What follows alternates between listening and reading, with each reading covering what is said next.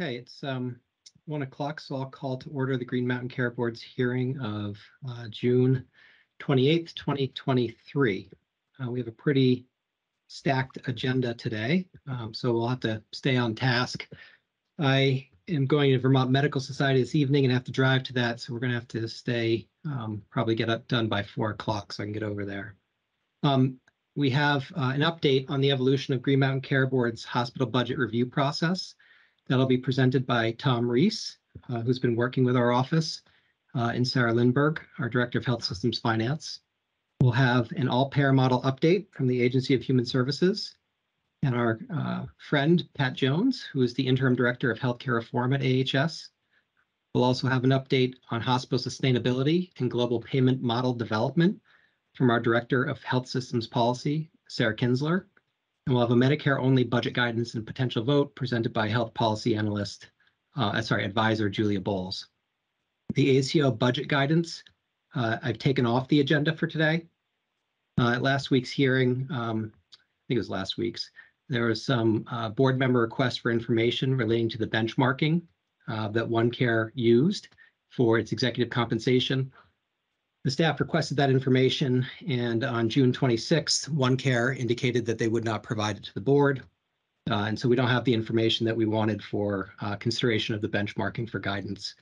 I've sent OneCare a letter, and we'll soon be issuing a subpoena for the information that we requested. So that is off the agenda. We're going to put it on for July 12th. Um, so I'll turn to uh, Executive Director Barrett for her report. Thank you, Mr. Chair. I have some um, scheduling announcements, public comment announcements, and then some updates for the board and the public. First, um, next week, we will not have a board meeting on July 5th. Happy 4th of July, everybody. Um, and as Chair Foster said, we will resume the next week on July 12th. Um, we've extended the public comment period for OneCare Vermont's FY24 budget and certification guidance until July 11th at noon. And we're also accepting any public comments on the next Vermont All Payer Model Agreement with the Center for Medicare and Medicaid Innovation, or CMMI.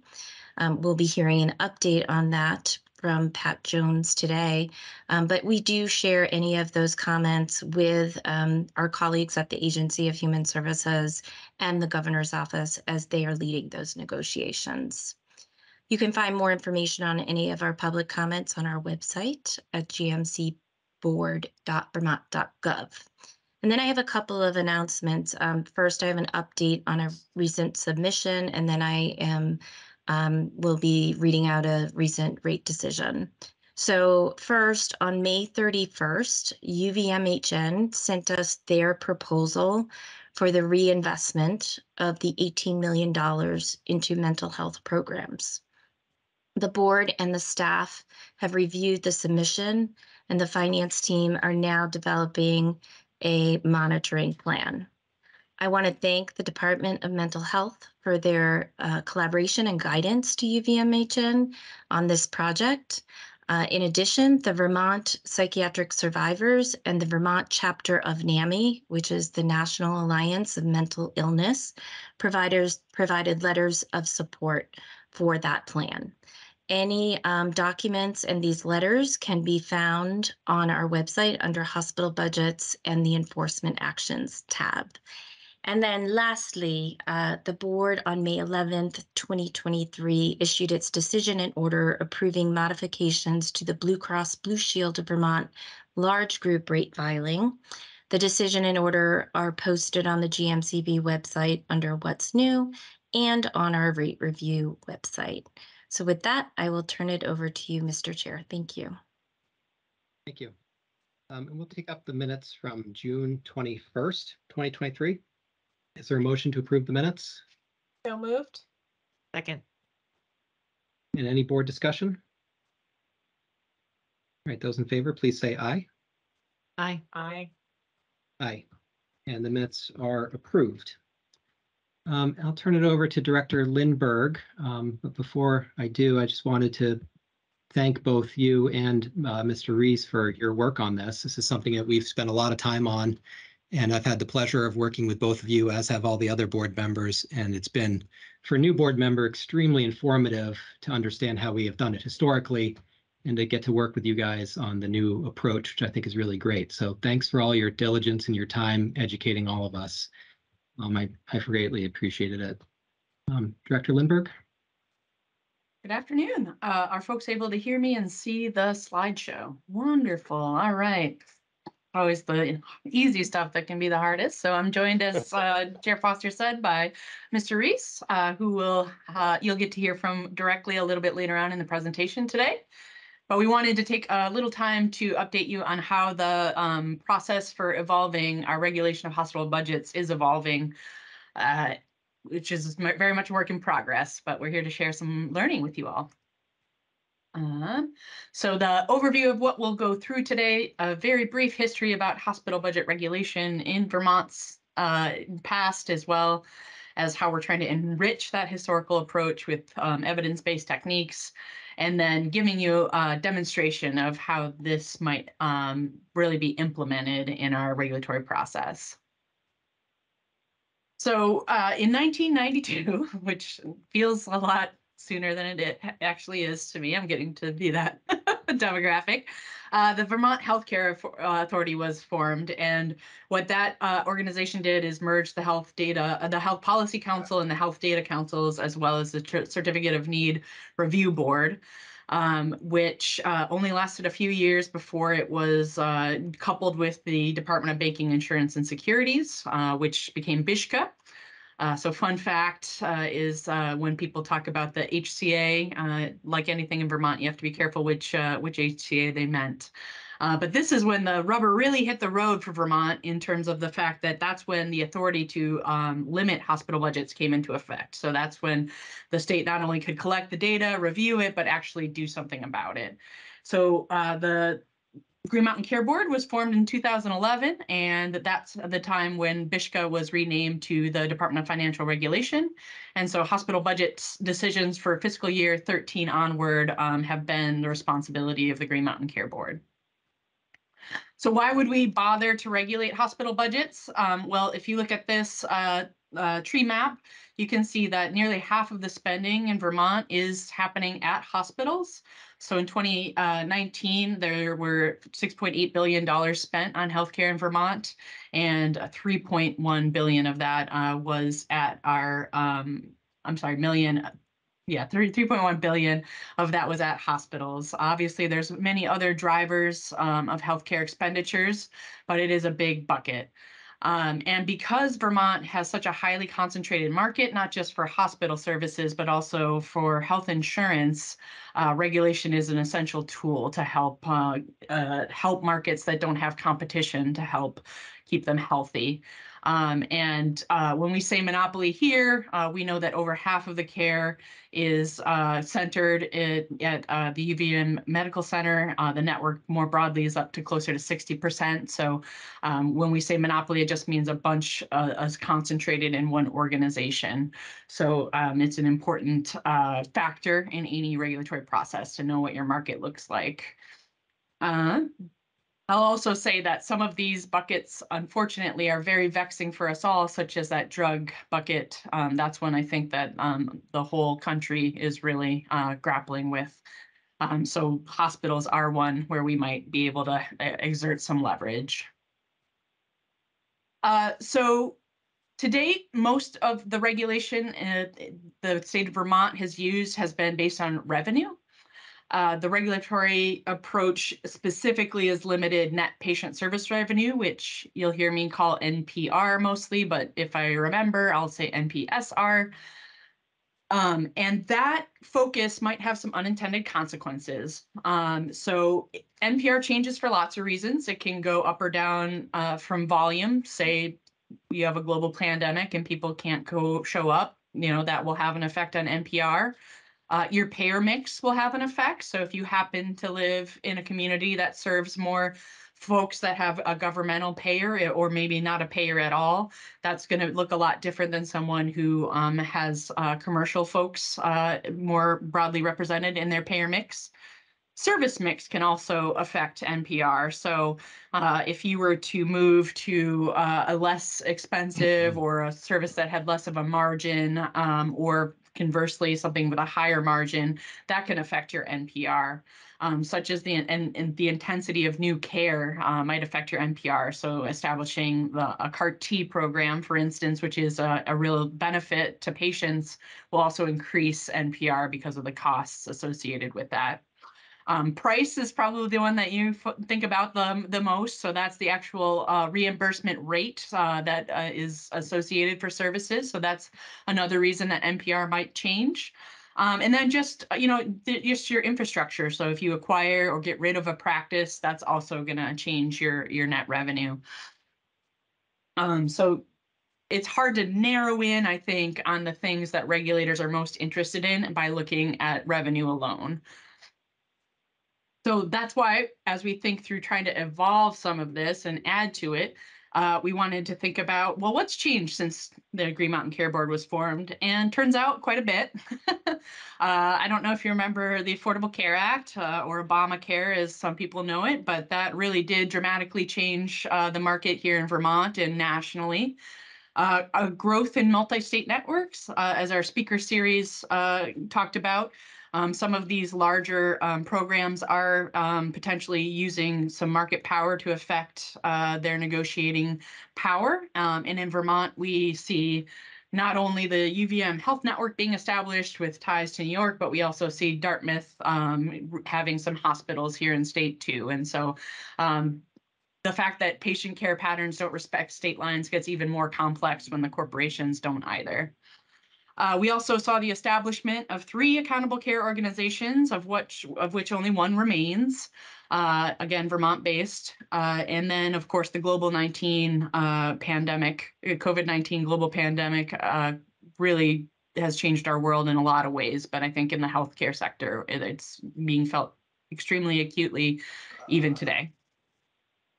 Um, so, you know, I, we think that, you know, just looking at revenue or that revenue-based regulation really was, you know, a part of a different time and, and very different circumstances than we're facing today. And with the advent of more data availability and our ability to harness that, we think that we have the um, some new capabilities to take advantage of that.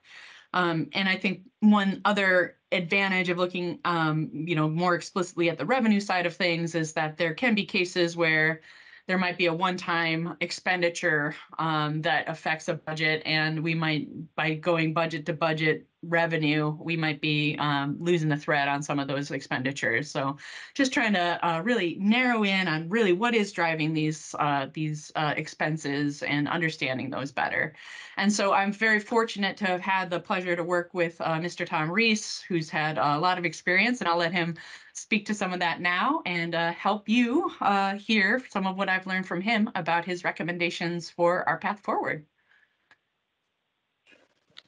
Thank you, Sarah. Um, let me preface my comments by extending my deep appreciation to the board for all that they are doing in in wrestling with a new approach to their responsibilities. Um, and entrusting me with a, a portion of that responsibility.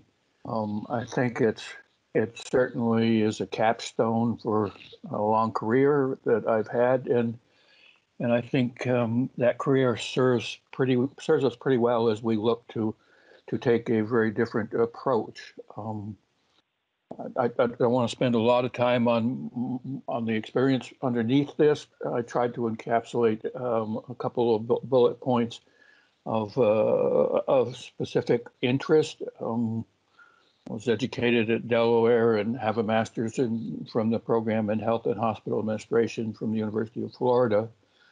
Um, but I really started my career here. I was born here. I was actually born at the old Fletcher House.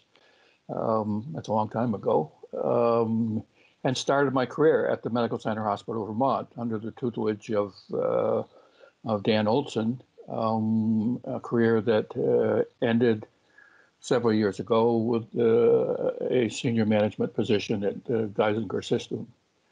Um, after that career as an executive, I've spent 26 years consulting basically with with three different uh, types of uh, healthcare providers, um, much of the time with academic medical centers. Um, recently, a lot of time with Ascension Health Hospitals as we have been doing performance improvement projects for them.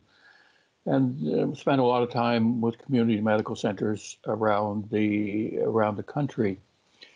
Over the last 20 years, I've really worked in the space of financial data and its relationship to health outcomes and their relationship to healthcare performance, um, both as a member of, of several teams working to to alter hospital financial trajectories, but also working with many hospitals on issues of uh, improving both clinical quality and cost effectiveness through the utilization of expense data, um, specifically expense data at two levels. One is the departmental level, and the second is at the at the actual patient level.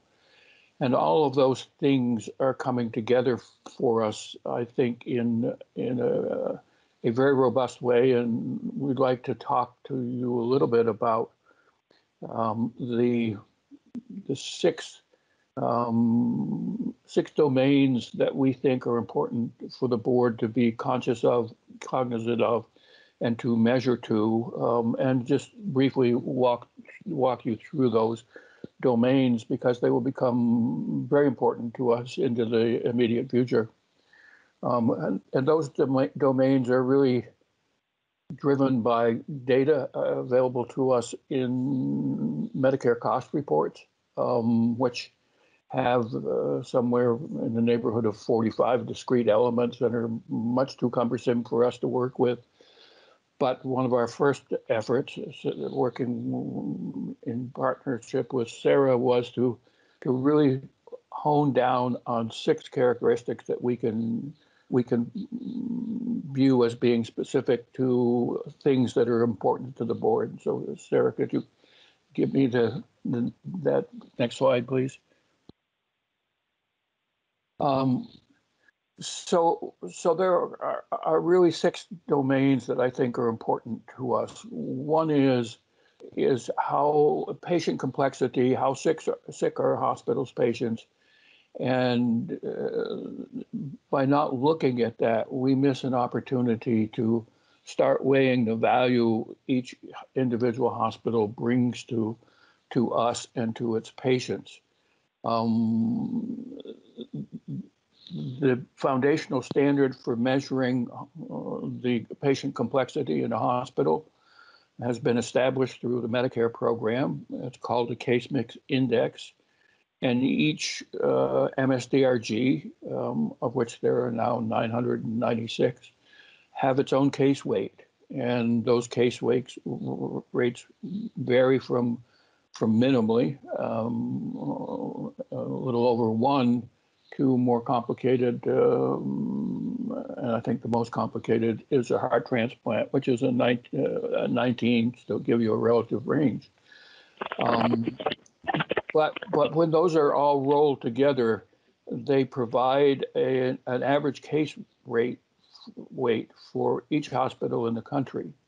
And they're all driven by the same factors, and thus we have a way to to actually look at uh, the severity of patients in every hospital and, and compare those to one another. So, so it is a gold standard of patient severity. the next slide, which is which is a similar Medicare-based standard, which I have always used as the gold standard for hospital financial efficiency um, which is in in fact um, the Medicare cost per case, um, risk adjusted, and um, and many hospitals that I've had the pleasure of working with actually have for a number of years managed their costs to Medicare costs um, uh, and relying on other payers to to provide them some level of uh, satisfactory mon- uh, profit. Um, uh, spent a lot of time, as I said, with Ascension Health leadership, um, who actually now use managing to Medicare as one of the performance standards for their CEOs in their 21 hospitals around the country. Um, a, a third standard that we have created ourselves, which is uh, interestingly uh, the ratio of administrative and general service salaries to clinical salaries.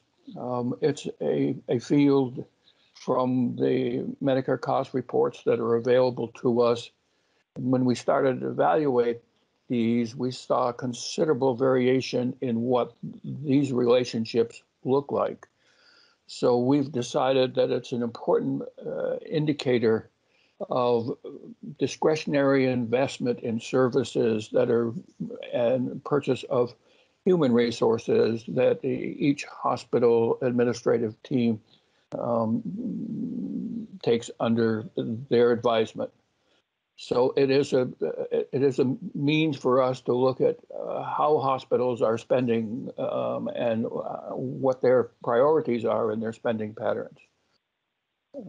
Next slide is um, which is uh, a, a very clear me measure of financial operating performance, but it's pretty clean definition of financial operating performance um, because there are uh, variables taken out of the normal evaluation of performance, which, uh, and this just focuses on pure operations um, without extraneous um, accounting manipulation of those operations.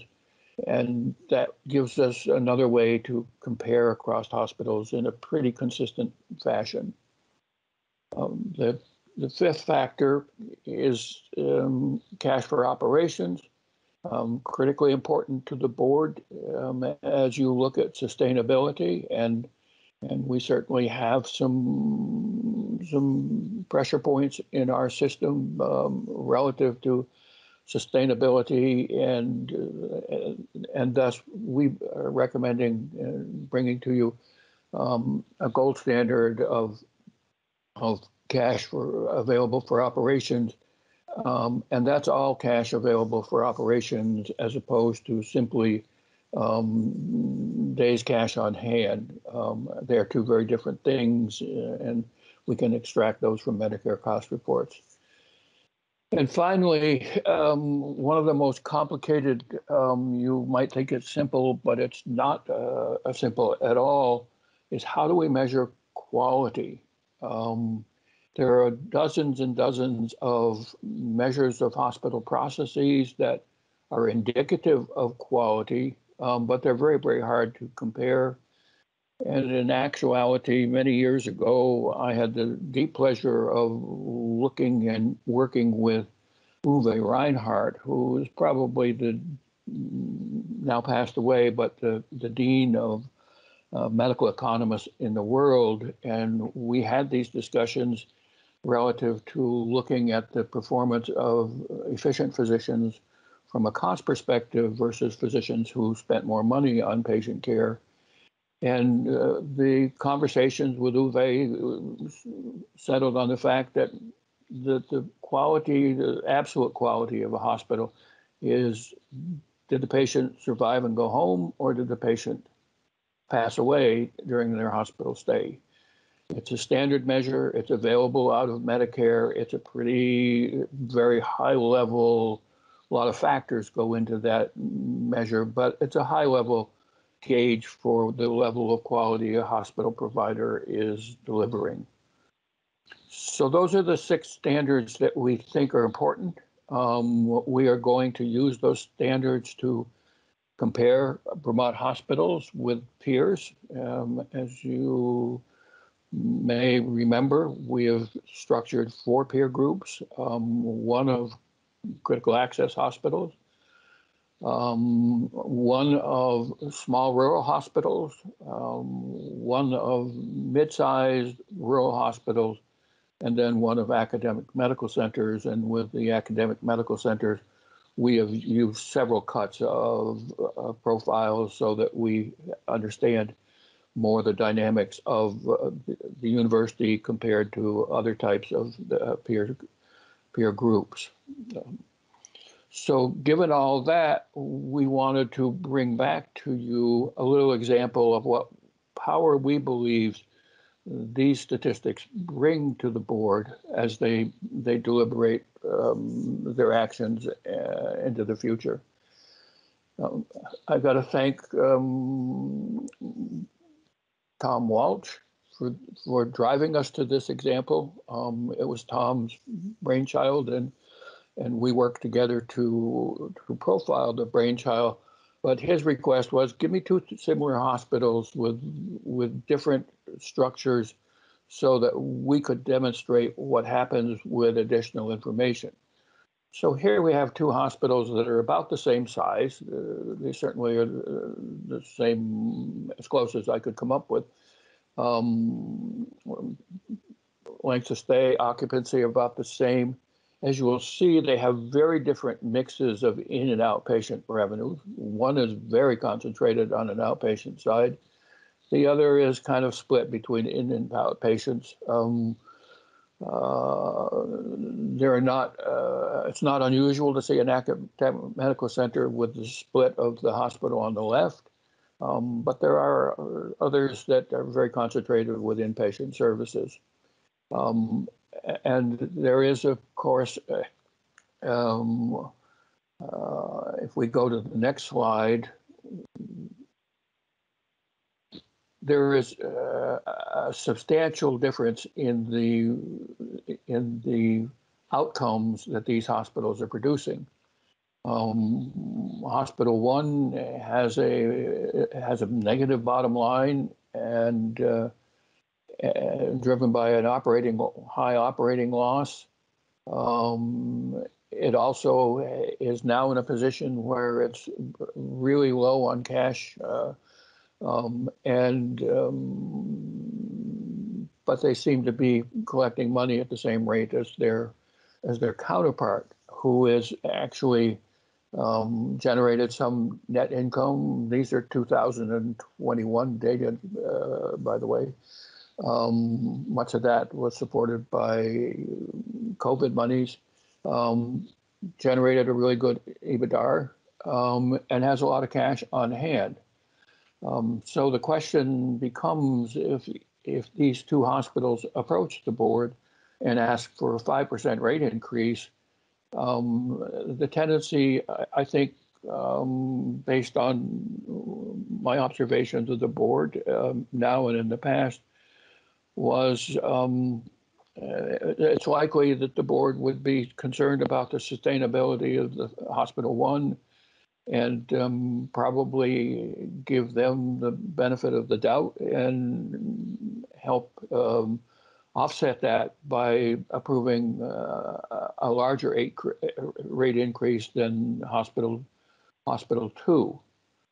But if we look at um, some additional factors um, and the gold standard factors, we see uh, suddenly see that hospital one is taking care of patients who are a little less ill. They're costing a lot more. Um, they are using uh, discretionary costs to spend on administration versus clinical affairs.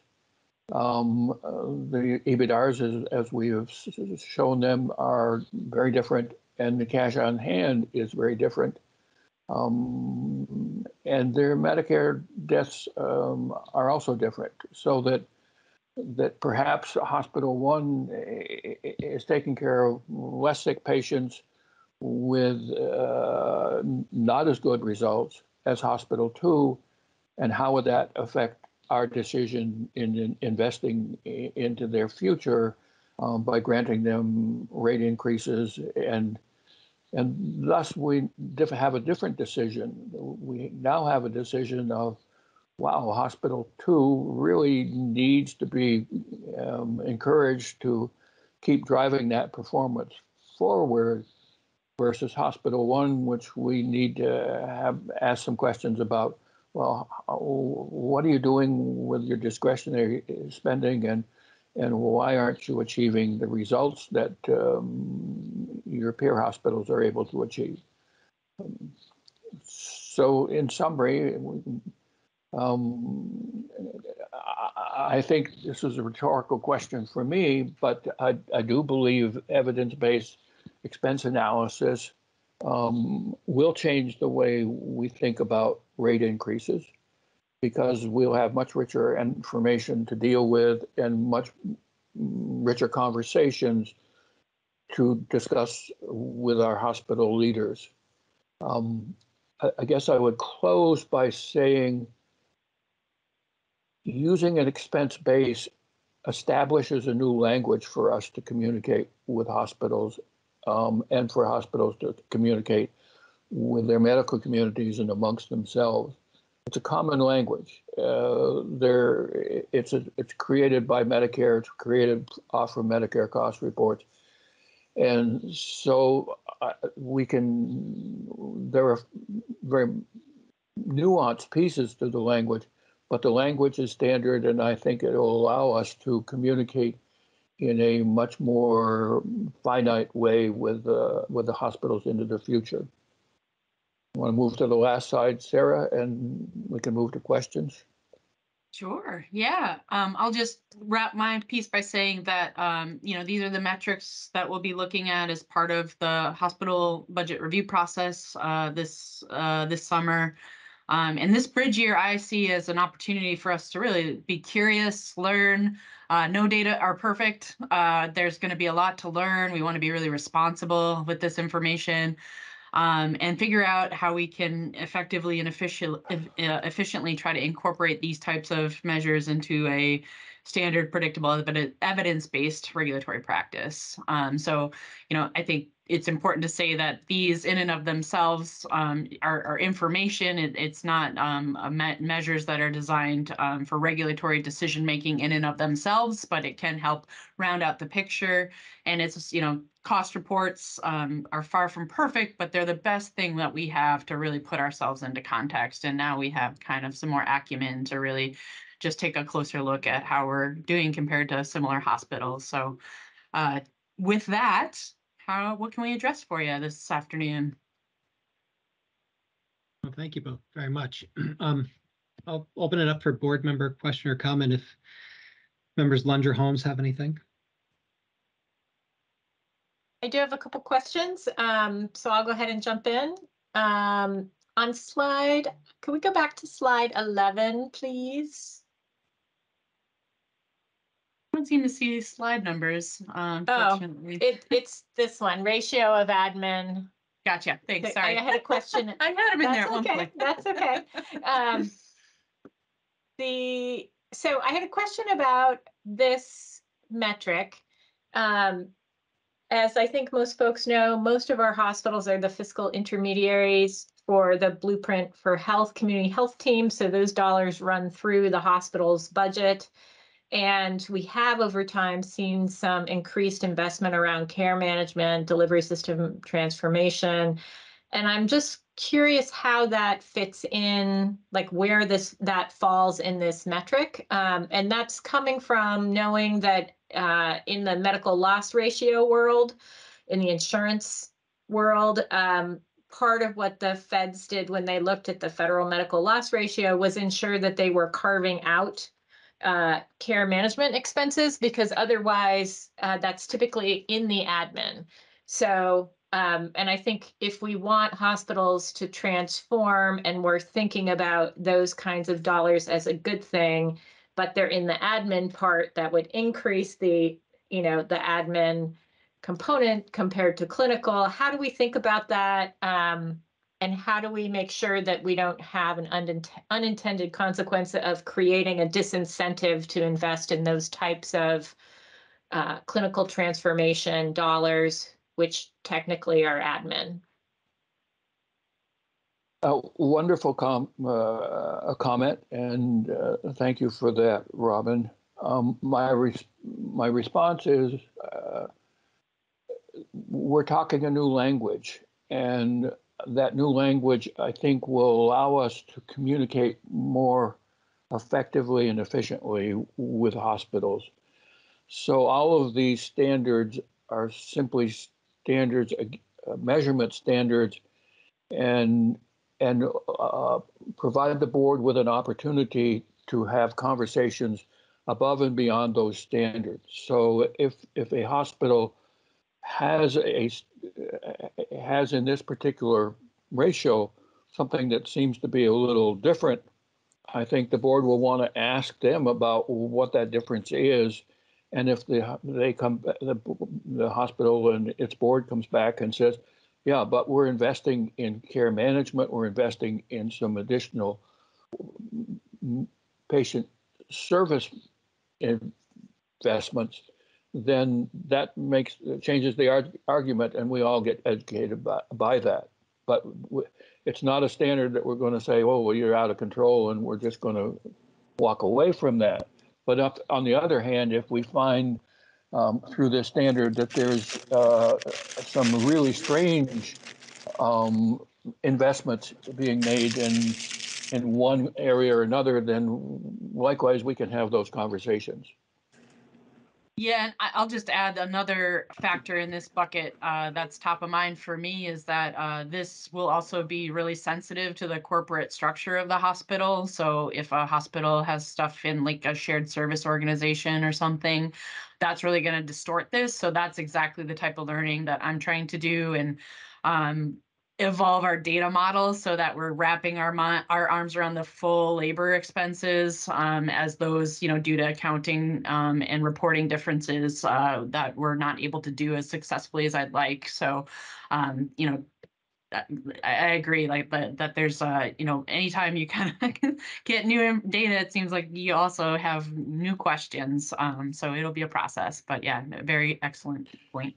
As as we move past that, and I think it's a very important um, for the board to to understand how we view this as a as a shared process.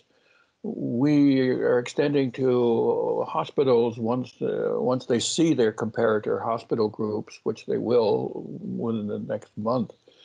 Um, we are uh, extending to uh, each CEO the opportunity to come back to us and say, "Oh, I'd like to see these other five hospitals included in that in that comparative group," and we're very open to that. We, we haven't got this perfect, um, um, and so we want it to be a collaborative process as we start evolving it. Great, thank you. Uh, that's that's super helpful. I just wanted to think through, you know, people tend to hear admin as bad, right? But some some admin is uh, tra- care transformation and the direction that we hope to move in.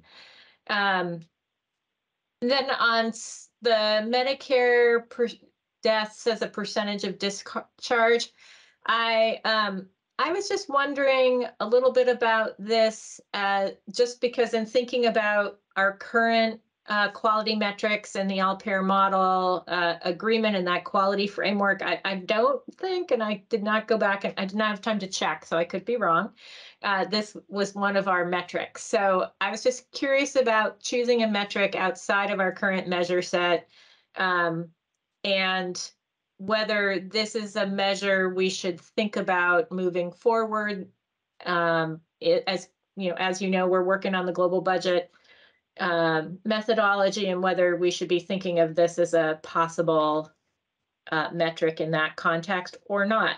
Um, you know, me- measures don't always have to be exactly the same, but there, at least in this state, has been a lot of work statewide on ensuring that there's a robust conversation around metrics and making sure that we're not constantly just adding and that we're cognizant of the administrative burden that that brings when folks are trying to focus their work on their based on the, what they're being measured on.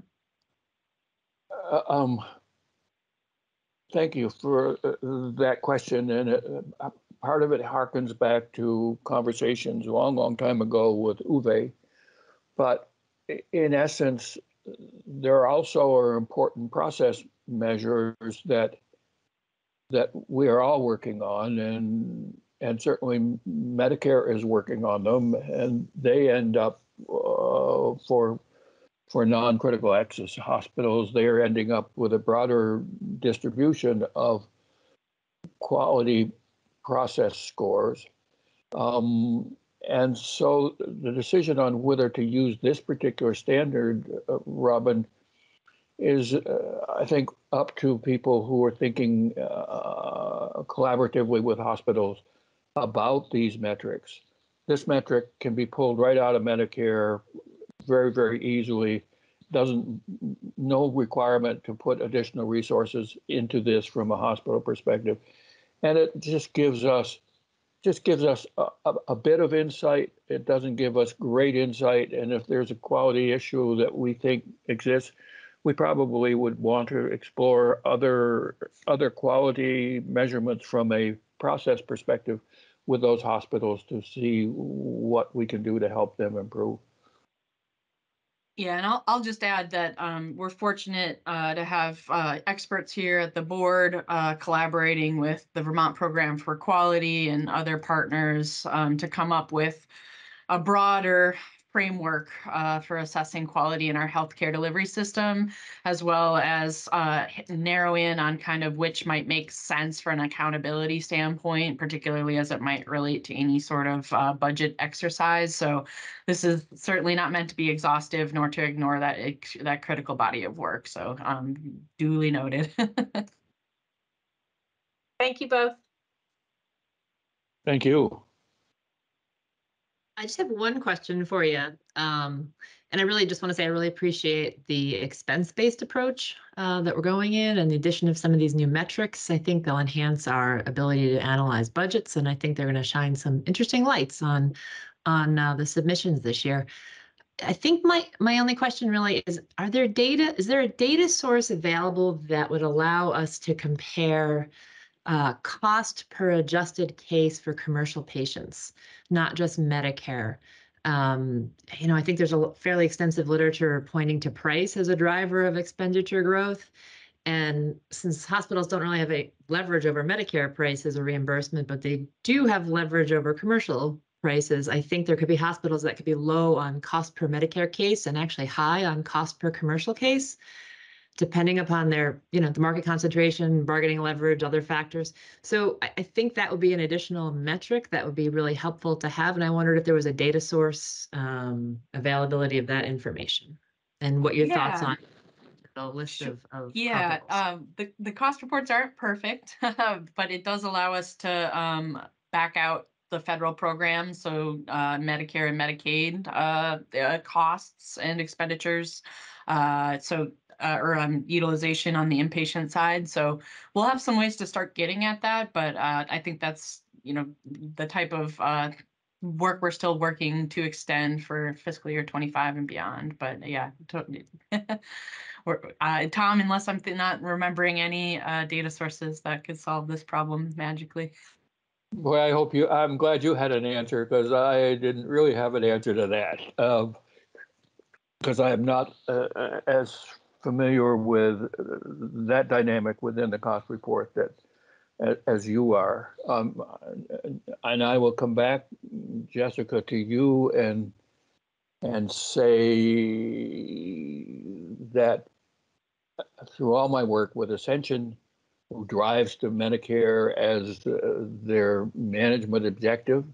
Man, and they drive that so that they can set their costs, commercial costs, um, to generate their margin. That's it's a pretty simple technique for them, um, and they execute it pretty well, actually.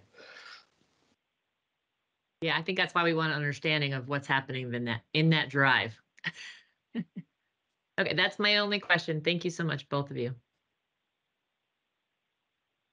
Um, I had two quick ones. Um, I, really appreciated Member Holmes's question. If we can somehow suss out and get a direction on that, because we are such an outlier nationally on our Medicare costs, that it could be a little bit um, deceiving and of course doesn't take into effect market power by various places. I don't know if there's a way to do it based on um, the reimbursement data we have for commercial as a, by reference to uh, Medicare and sort of at least roughly directionally get a sense maybe. Um, so I'll put in a plug for Member Holmes' suggestion. And the other question I had was for the care transformation dollars that may be in administrative costs for our hospitals. do we have that quantified now, or can we get that? Is, is that something we have? See- Yeah, we have that revenue uh, broken out separately uh, in our current uh, data model. Yep. We have the blueprint revenue. But if there's other investments that they've made, I don't know, do we have that too? Uh, so we have what comes into the hospital as revenue related to other types of revenue that aren't NPR. Um, what we don't have much granularity on is uh, the expenditures that are supporting the communities. And I think that's an essential point, and hopefully we can get a better sense of the types of infrastructure our hospitals are supporting that uh, might be more of a dotted line um, in terms of kind of corporate structure. I love this conversation because we're talking the language. We now are talking the language. Thank you very much. Well, thank you, Tom. Um, then the other question I had, you know, in those hospital one versus hospital two, I think, you know, just by how you analyze it, you do come to a different conclusion. I mean, I went through this and sat and said, okay, we got to give hospital one more money.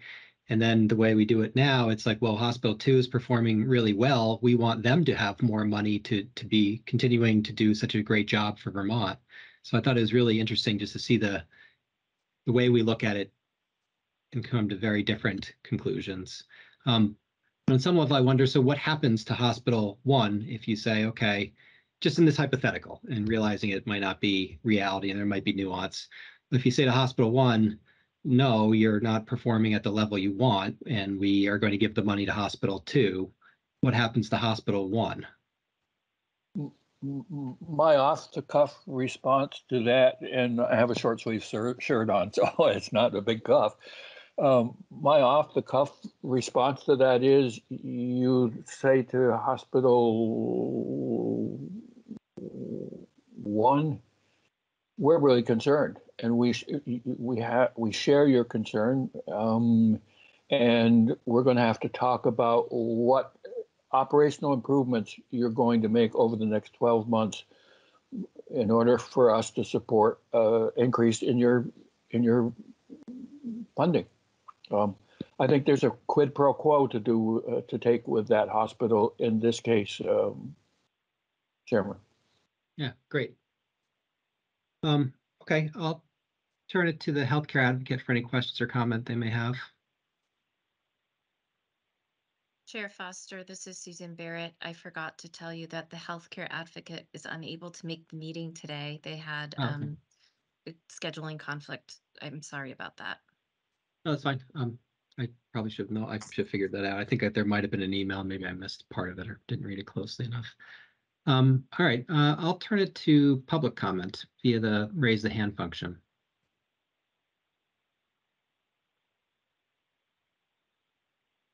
Mr. Davis, how are you? Please go ahead. Uh, Mr. Chair, Ms. uh, Chair, thank you very much. Uh, I have a, I have a comment and a question. Um, I've been involved in this for a long time. Uh, The 1991, um, I, my bill was the first hospital control bill that existed in Vermont, passed the House but not the Senate, but it got picked up in 1995. and We saw that. That's where that would fit on Sarah's, uh, in Sarah's uh, slides. I believe that based on that background, I'm watching at this time, I think this movement, this uh, project, whatever you want to call it, is uh, one this the single most important one that we one of the single most important ones that we've ever had. Um, it's the and I think if it's it's absolutely essential, I think, to really get get this problem solved is to is to make this make this work. I think it's just we we we've got to we've got to make this work. Um, that's my comment. My question is this for Tom uh, Reese. I, I'm I'm curious uh, whether in you for based on your judgment. I know it's you, you may not have a full answer yet, but I'm very interested in your experience here. If you shift from EBITDA to if you shift from um, days cash on hand to EBITDA, uh, do you expect to see, should we expect to see a, a, significantly different way to look at what's going on now? Uh, the, how, how important in your judgment is that shift? Because if you look at, for example, for 60% of the system, um, which is the UVM Health Network, their days cash on hand is terrible. And, um, and, and so, uh, and so that, so that's, that's my question. Can you, I know, I, you may not have the data yet, but I'd, I'd be interested in your experience here. Thank you. Um, the, the relationship between EBITDA and, and cash, of course, is, is, is close but not exact. Um, and uh, I think it's, it's important uh, that uh, for the board, we look at all sources of cash. We don't look at just um, days cash on hand, which is one metric, but but there are a lot of hospitals that have a lot more cash than they have uh, dedicated to days in cash, and and many of those are reserve funds that the board has reserved for for the future, but are actually available for for operations. So.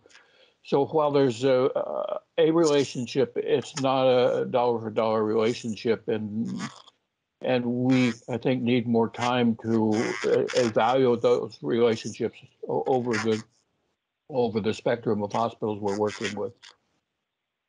Thank you, sir. Any other uh, public comment?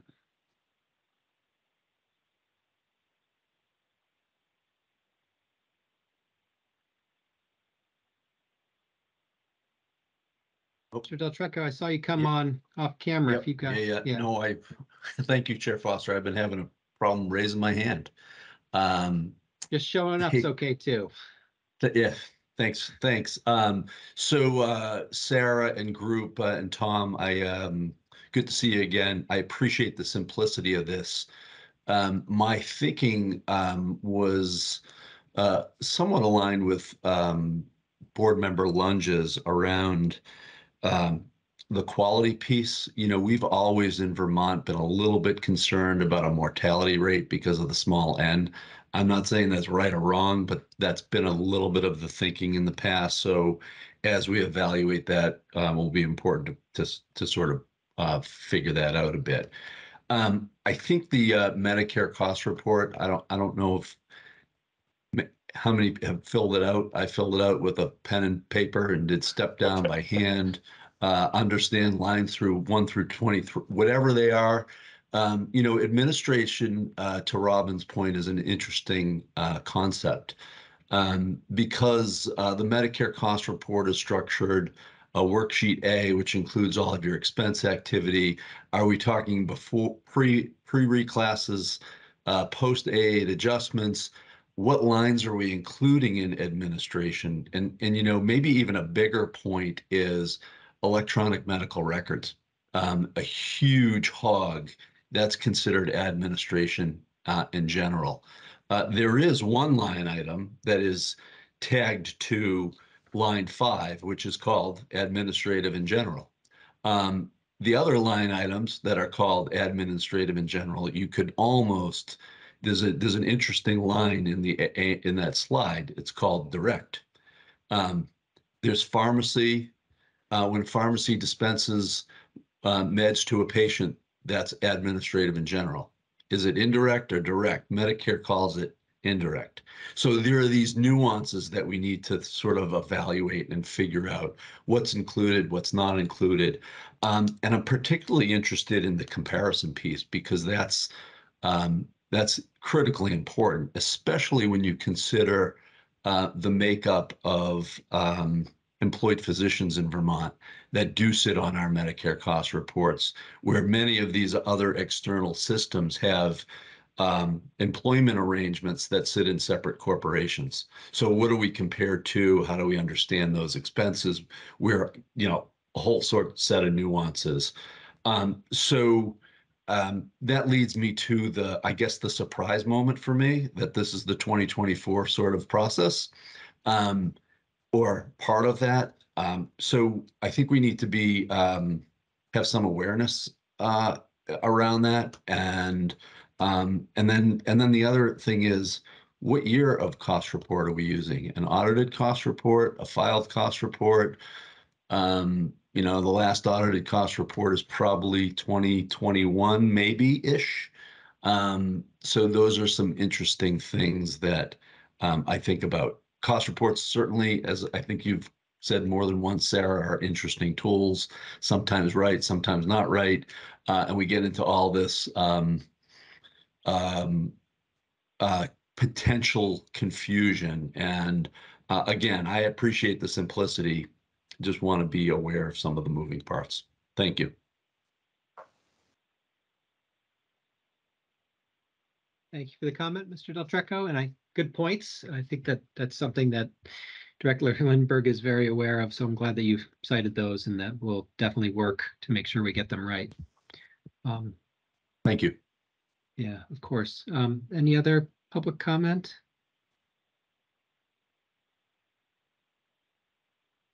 Great, okay. Well, Mr. Reese and Director Lindberg, thanks so much for all your work on this. It's been impressive and um, a joy to work with you both on this, so thank you. Thank you. Thank you.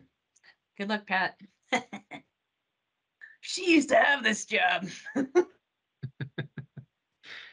Um, next, we'll be hearing from um, Pat Jones, who's the interim director of healthcare reform at AHS on the all-payer model update. Um, for those of you who don't know Ms. Jones, she did used to work here. She's a dear friend to many of us and one of the most enjoyable people to work with in government. And I really value the friendship and collaboration she's given all of us and and taught us, taught me a lot. Um, so, Pat, thank you for being here and um, take it away.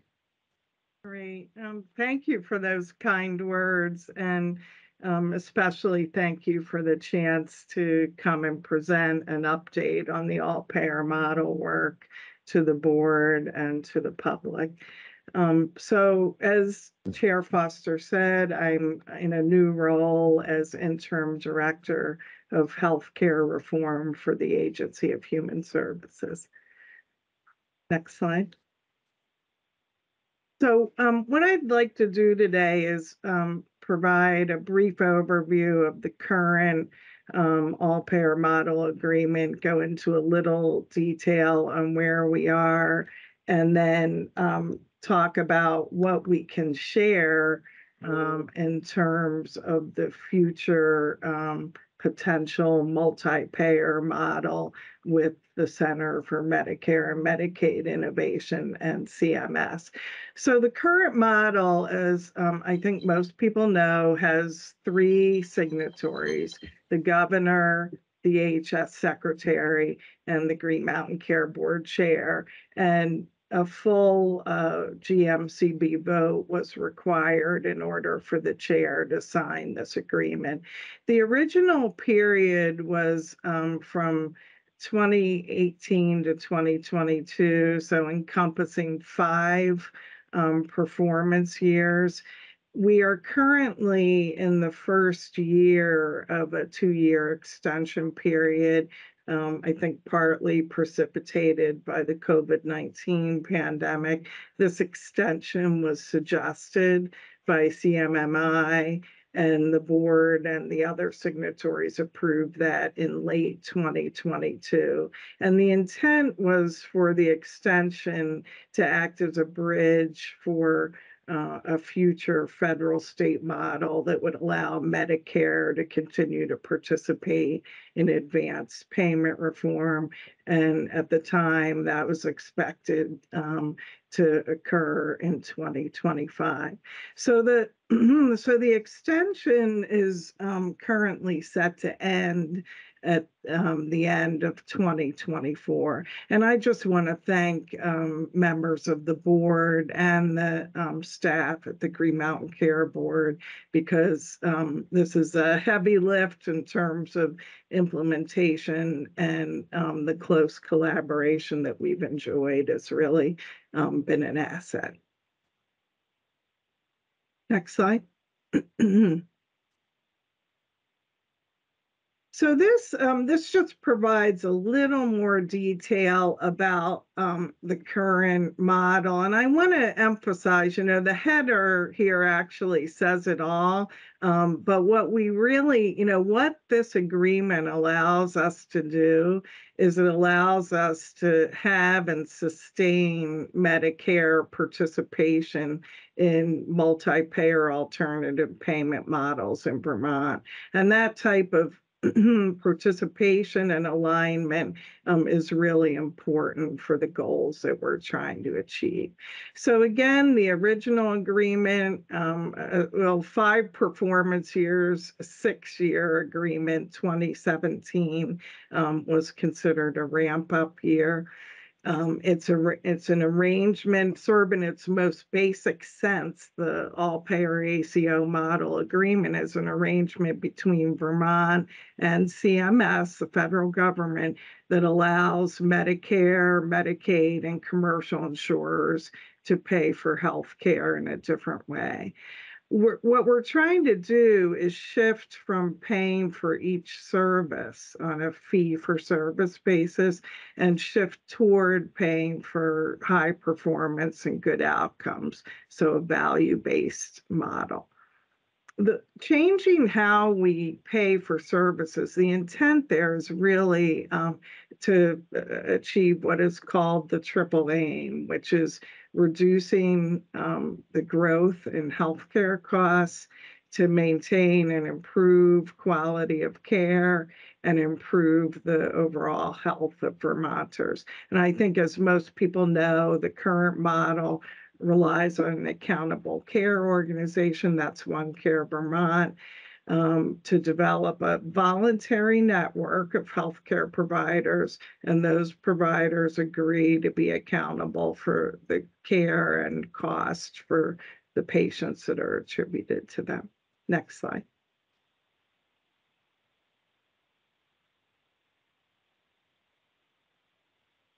So, um, as I mentioned, 2023 to 2024 represents an extension of the original agreement. We executed that extension. It was signed in late 2022. The agreement terms are um, very similar to the original model. Um, the extension is in place for this year, and the state has accepted the option to extend the agreement through 2024. One of the really important things that um, continuing this agreement does is it allows us to continue to take advantage of Medicare investments in Vermont. And a good example is the innovations that have been um, developed under the Blueprint for Health um, to support primary care practices. So Medicare contributes to per member per month payments for participating primary care practices that have become recognized as patient-centered medical homes. And Medicare continues to provide support for community health teams in each region of the state that provide additional services for people with complex needs. Without this agreement, that um, we would not um, have that Medicare investment in the blueprint for health. And similarly, um, OneCare has developed a program called Comprehensive Payment Reform that supports um, independent primary care practices. And again, our participation in this model and Medicare's participation in this model has allowed um, support for that program to continue as well. Next slide. So as we think about a future Medicare multi-payer agreement, and I'll have more to say about that um, in a few slides, um, starting in 2025, um, what we know is that the federal government is developing a multi-state, multi-payer model um, for the future. The, the model that we currently have is Vermont specific. We're the only state that has this model. And um, the federal government is really looking for the future to have a multi-state model and not a specific uh, Vermont model.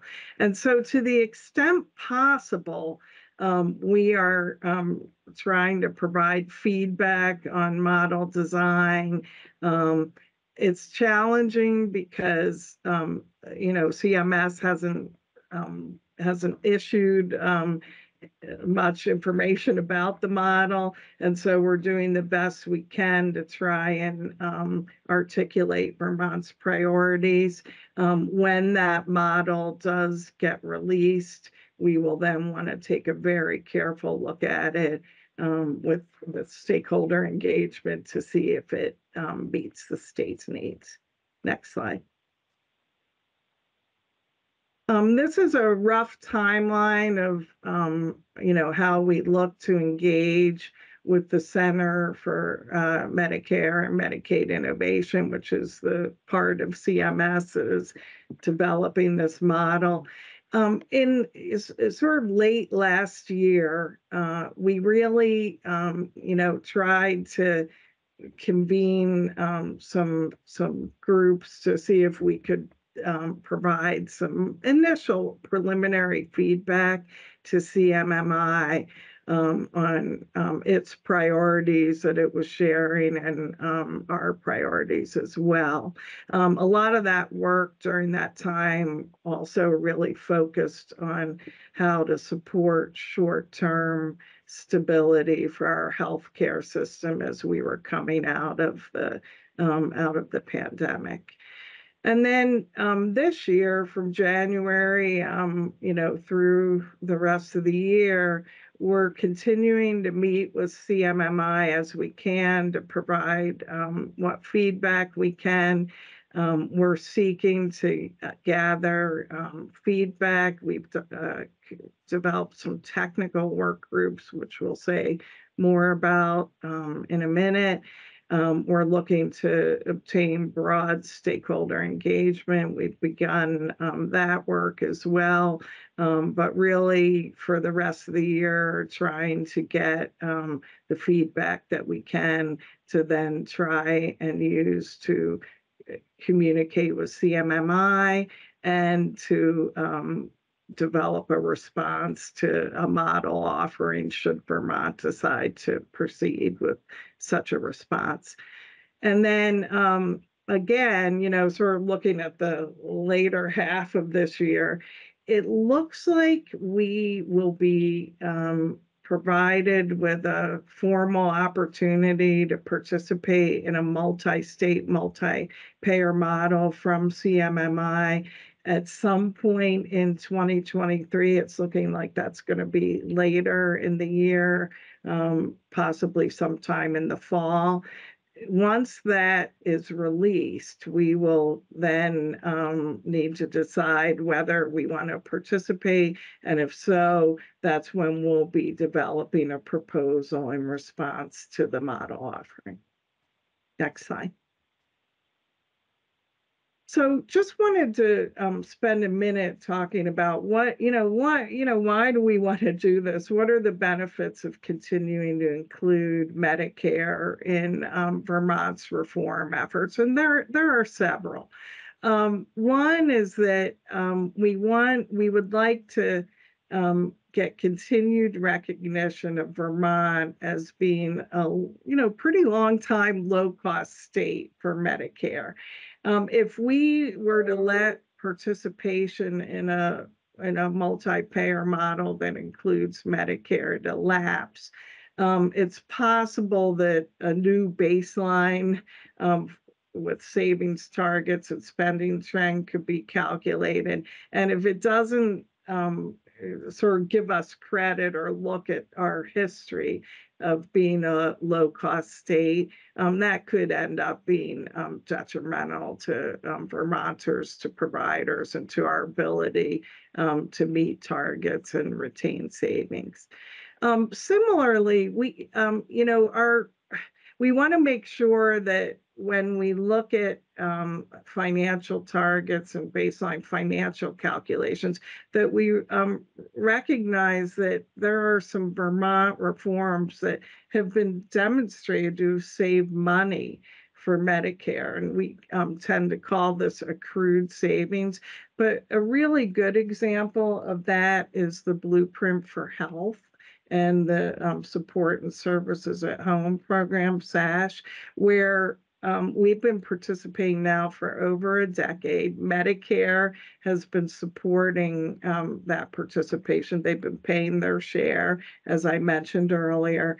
And having, you know, we want to make sure that when we're looking at what has Vermont um, provided to Medicare, that those savings over time are recognized and that they're um, part of the financial calculations. Obviously, um, including Medicare and Vermont's healthcare reform efforts does give us the ability um, to potentially influence what reimbursement is looked like, looks like, what the payment model looks like, and so forth.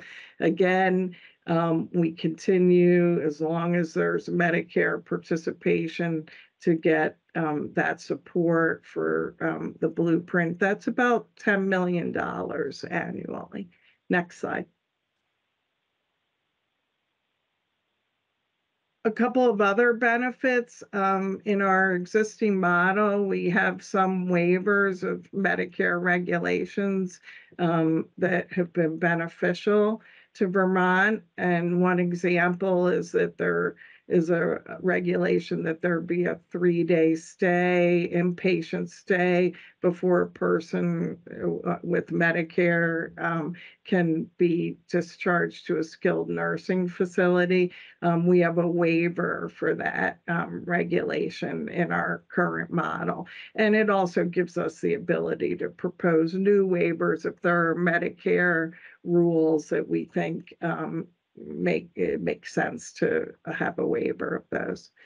And then fundamentally, what uh, Medicare's participation really does is it allow it gives them the flexibility to pay in a way um, that that works with Vermont.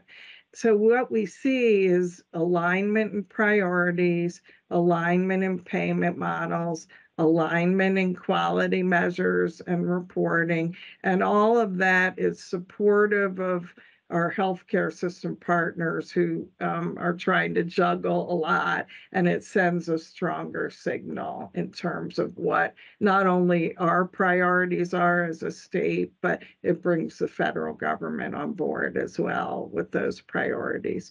Um, one um, sort of you know, detail that I want to make sure we mention is that our current model is what's considered an advanced alternative uh, payment model by the federal government. And as such, it means that our um, primary care and specialty care providers um, don't have to um, meet um, federal, it's called a merit-based incentive payment system requirements. They they get the um, they they get the benefits of that simply because um, our model is considered an advanced alternative payment model. So um, any sort of a break in that would mean that our providers would have to revert to the what's called the MIPS system. Next slide. So just, this is just a graphic description of um, Vermont as a low-cost state uh, for Medicare. This is a um, per capita or per beneficiary um, spending growth. Vermont is the dashed line. Uh, the U.S. as a whole is the solid line. Uh, and our spending um, has been below um, the national average, um, as you can see, for quite some time, harkening back to the, um, you know, to the early 90s. And, um, you know, growth, sometimes our growth maybe has been a little higher than the national average. Sometimes it's been lower. Across the years, it's um, it's run fairly comparable um, to national averages. Um, but you can see in 2017, that's the year that we entered into the all-payer model agreement with CMMI. 2018 was the first performance year. You can see, um, you know, for the years that we have data, the cost growth has dropped pretty sharply um, compared to national spending. Uh, so it looks like, um, you know, there has been a bending of the cost curve in Vermont for um, Medicare spending. It compounds annually, so that leads to an e- even greater divergence. Um, so just wanted to provide some uh, specific information on Vermont as a low-cost state. Next slide. This is, um, this is a pretty important slide. What's the focus and timing of, um, the future multi-state, multi-payer model with CMMI? And we have gotten some very recent clarification from CMMI on particularly the timing of the future model. Um, again, as I said, CMMI is moving in the direction of offering only multi-state models. They are not planning to offer state-specific models. Uh, they've outlined seven priorities um, that'll be central to the model, and I'll share that in a moment. They are planning to provide more detail, as I previously mentioned, in the fall, and that's when we'll really have a sense of um, where things are going with this model. If they are able to release um, the what's called a notice of funding opportunity, it'll you'll hear the term NOFO for short. Um, if they are able to release that in the fall, um, it's likely that they'll be looking to states to outline their proposals in early 2024. CM, CMMI has recently informed um, Vermont that full implementation of a new multi-payer, multi-state payment model will occur in 2026. We had um, previously anticipated that it would be 2025, although I will say that we knew it was a, a very tight time frame, but we have just learned that it will now be 2026. So what um, what that means is that um, we are now negotiating with CMMI what 2025 will look like here in Vermont. And our goal, um, I think it's a mutual goal um, with us and CMMI, is to ensure that we can provide a smooth transition to a new um, multi-payer model with Medicare in 2026. So that is um, very recent news that I wanted to um, share. At the same time that we're um, now talking about what will 2025 look like, we are continuing to discuss um, the future model. And so we're continuing to discuss that potential 2026 model as well. Next slide. This is a tentative timeline. I'm going to emphasize the word tentative because again, it's very dependent on um, when that um, model, when those model details are released. Um, but fall 2023, we expect to see more details. Um, we'll um, want to engage in a broader stakeholder engagement process, although I'll, I'll say that that's really already um, begun. Um, early 2024 is when we expect those applications to be um, due. We would be working very closely with uh, GMCB staff to prepare that application for consideration. This will be a time when there will be um, you know, more public presentations to this group, um, public comment periods. Um, uh, we already have opportunity for public comment, but there'll be um, a good deal more to comment on. Um, and then um, a vote of this of the Green Mountain Care Board would be required um, before submission later in 2024, if if we decide to um, submit a proposal, if we are selected, um, that it would be later in twenty twenty-four that um, detailed negotiations would occur with CMMI. And some examples of some of the areas that we might negotiate would be savings targets, um, what the Medicare payment model looks like, and so forth. 2025, as I mentioned on the previous slide, we're looking for a bridge um, from the current all-payer model agreement to CMMI's multi-state model. And what that will look like is dependent on our discussions. And then, um, according to the new time frame, 2026 would be that multi-state model launch. Next slide. So what do we know at this point about the new payment model that CMMI is, um, is developing? Uh, They, they have signaled that they're, you know, that they're looking to produce a design that addresses seven priorities, and they're listed here. Um, the first four, I think we can call payment design, um, priorities. Um, the last three we can call core principles. Um, so the first is that the CMMI model is expected to include as, um, as a payment mechanism, global budgets for hospitals. So that's why we've been spending, um, a lot of time thinking about global budgets. It will include, um, a total cost of care target and approach. So looking at, services that are included in the total cost of care and then setting a target there for um, what the expectations are in terms of cost growth. It will, you know, the goal is for it to be all payer, so to include um, Medicare, Medicaid, um, commercial insurance. And the desire is that there be a goal for minimum investment in primary care, meaning that there needs to be a minimum level of um, support for primary care.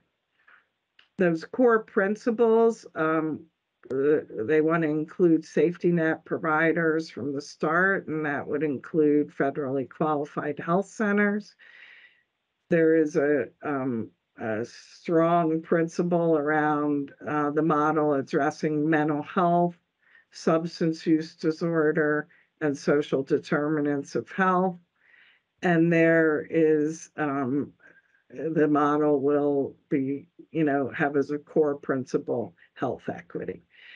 CMMI issued a blog post um, a little while ago, and um, they actually asked that we um, provide this excerpt um, from that blog post in this um, presentation.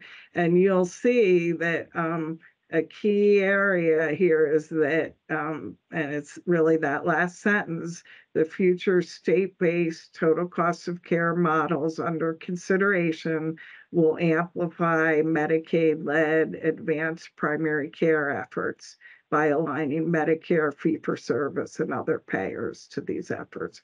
So um, a, a big focus on advanced primary care. Next slide. Uh, this is, um, I hope folks can see this. This is a rather busy slide, but it's a really important one, and I want to spend a little bit of time on it. Um, this is um, our best effort at depicting um, our, our vision for a statewide approach to healthcare reform. And, you know, a lot of the work that's um, depicted in this slide is ongoing. But, you know, what we have, I think what we've learned over the years is that no one payment mechanism is going to do everything that we're looking to do in healthcare reform. And certainly not, not, will not necessarily speak to the broader healthcare system. And so the way that we're looking at this is that um, yes, it is important in that top box to have um, statewide total cost of care and quality targets.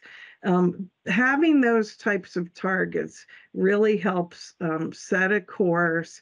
It helps make sure that we're all rowing in the same direction. Um, it helps focus efforts. It helps support alignment. Um, but it is removed from individual providers and um, payment mechanisms that are more direct in terms of helping to support care transformation. So while it's an important part of any model, um, it is not the only part. So, you know, we're calling that sort of the broad structure that um, it supports efficiency, it supports quality um, across the system, and it's important as a compass, really in that middle box, um, we believe there's an opportunity to support providers um, working together. And that's actually some feedback that we've um, gotten um, from um, some of our um, engagement efforts is that how can we um, and we're calling these shared quality payments, but how can we reward and support providers who are working together. And there's some measures, a few measures um, that really speak to that. I've given an example of one, which is follow up after hospitalization for mental illness. That's a measure that speaks to both the hospital and to the um, and to the community providers working together to make sure that that follow up care occurs when someone is discharged from a hospital. There are other examples of measures, but that's one. And then when you get to that um, lower set of boxes um, for the different provider types, that's where you get to those more direct um, payment mechanisms and provider supports um, that hopefully can encourage um, the best possible care. And these can be multi-payer. They can be payer specific. Ideally, we'd like to see as much multi-payer um, work as possible. So um, there's some efforts that are uh, already underway in Vermont because of our historical approach to um, healthcare reform, and I'll um, provide a couple of those. For primary care, um, the example that we're giving is enhanced payments and population-based payments. An example of an enhanced payment is the Blueprint for Health um, per member per month payments that primary care receives. Uh, an example of a population-based payment is the work that um, OneCare has done with independent primary care practices through their comprehensive payment reform program. So those are a couple of examples. Hospitals, Again, the what the signals we're getting from CMMI is that um, hospital global budgets or health system global budgets will be um, part of the model. So that's an example of a payment more directly um, to hospital providers. Specialists, we have, you know, some um, work in place, but, you know, that's definitely an area where we would want to continue to focus and focus more effort. Mental health and substance use disorder treatment providers, there um, we have uh, several um, payments in place now for adult and children's mental health through um, Medicaid and the Department of Mental Health. There's a case rate uh, program in place. We have enhanced payments through the hub and spoke model um, through the Blueprint for Health and uh, the Vermont Department of Health. And then we do have an episodic payment model for residential substance use disorder providers. So those are some examples of really direct to provider um, mechanisms with the intent of trans transforming uh, care delivery. Long-term care providers, we have um, some efforts underway, but um, you know some work to be done there as well and um, other provider types, including home health. So that's the vision, the overarching um, targets, important for alignment and rowing in the same direction, those shared quality payments for um, work that providers do together across the continuum of care, and then those more direct um, provider payments and supports um, that are dependent on the provider type. So I hope, again, it's a busy slide, um, but it really does depict um, the vision that we're trying to hew to as we do our work. Next slide. Um, this, this talks about how we look to obtain input from Vermonters. Again, summer twenty twenty-two, we are really focused on short-term stability for the system. That was important, given where we are at. Um, in that, in the fall, we began to gather, um, input, um, on the multi-state, multi-payer model um, really started some very technical discussions uh, on a potential global budget model um, for hospitals and potentially other services and the Medicare waivers that we might want to look at. And then later in um, 2023, um, we're looking to, you know, continue to broaden that stakeholder engagement. That will include um, you know, public input. Um, there's uh, places on our website now, on both of our websites now for that, updates at these meetings, discussions at existing forums and other opportunities. Next slide. This is our current work group structure. Um, it's, you know, these are advisory groups. We have um, a healthcare reform work group. Then we've got a global budget technical advisory group, a Medicare waiver technical advisory group, and a payer advisory group. We're contemplating a care transformation advisory group as well. Next slide. And these are the organizations um, that are participating in our um, healthcare reform work.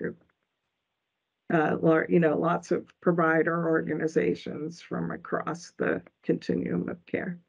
Next slide. This shows our mechanisms for public input. Next slide. And this summarizes our feedback um, to CMMI. And, you know, these are themes that I think most people here have heard um, before, but we'll, you know, we're, we're repeating them as much as we can. One is that we want to see um, support for rural provider stability and sustainability with workforce and inflation being important concerns. Um, it's important to increase predictability of payments. We are able to see during the pandemic how helpful um, predictable payments were. We want to make sure that um, the model assures the right amount of revenue with recognition that we're a low cost state for Medicare. Support for investments in preventive and community care is really important um, making sure that to the extent possible, those payment models and quality measures are aligned across payers. Um, and then um, really allowing Vermont to keep moving forward on the healthcare reform efforts that we've um, achieved to date. That includes care for people with complex health and social needs, support for primary care, again, blueprint and comprehensive payment reform being two examples, and support for community-based services, um, critical um, elements of a model going forward. Next slide. And next steps, we'll continue to meet um, with CMMI as we can. We'll continue to gather input um, however we can. And we will um, carefully review that model when it's released by CMMI to ensure that it's good for Vermont. And we'll continue to um, and really step up um, gathering of input in formulating our response. I think that's the end of my slides. Thank you very much, Ms. Jones. Um, turn it to board members for any comments or questions they may have. I don't have any at this time, Pat, but that was really thorough and really helpful. I really appreciate it. And I'm looking forward to the updates that we're gonna, you know, as, as this process unfolds, learning more. So I really appreciate the, the catching up on where we are and where we're going. Thank you. And I also don't really have anything. The only uh, other point maybe that I wanted to throw in the mix around the MIPS implementation is MIPS came came into effect while we were in the all-payer model, as you said. So while we talk about reverting to it, we have never actually had to implement it as a state. So I think I know we're working to try and get a better understanding of what that might mean um, for providers so that we understand if you know, maybe that's a good thing. I don't know. I think I've heard it's complicated and there's some administrative burden. So I look forward to understanding that better in the future. Thanks, Pat. Thank you. I don't have anything either. Um, well, I was distracted by your background, making sure there's no gondola at the top of that. Um, and it looks like we're okay. Um, I'll turn it to any public comment. Uh, Mr. Del Trecco, please go ahead. Thank you, Chair Foster. Uh, Pat, you always do such a great job, so really appreciate it. Um, I forget what slide it was, maybe 13. I think that you called it the busy slide or the one with a lot of information on it. You know, one of the challenges we've had um, in the all payer model is is getting all payers into the fold. Um, we have largely we have two commercial carriers in Vermont. I know that there's others that come in in a transient way uh, through ERISA plans, but um, I mean, maybe this is too big of a question for right now. Do you think the uh, things are going to get easier or harder under this delay and time period? And and and I'm and I'm specifically thinking about the new relationship with Blue Cross Blue Shield and the Blues of Michigan. Like, it, what does that look like? And you know, part of my hmm, mindset was maybe maybe a deal couldn't have happened at that time frame uh, when when there was negotiations happening because um, because there was a deal trying to be made between two organizations. So it's kind of like when the, you go for a mortgage and they say don't buy anything until sign sign off. So maybe it was something along those lines. But how do we see um, you know that going forward? And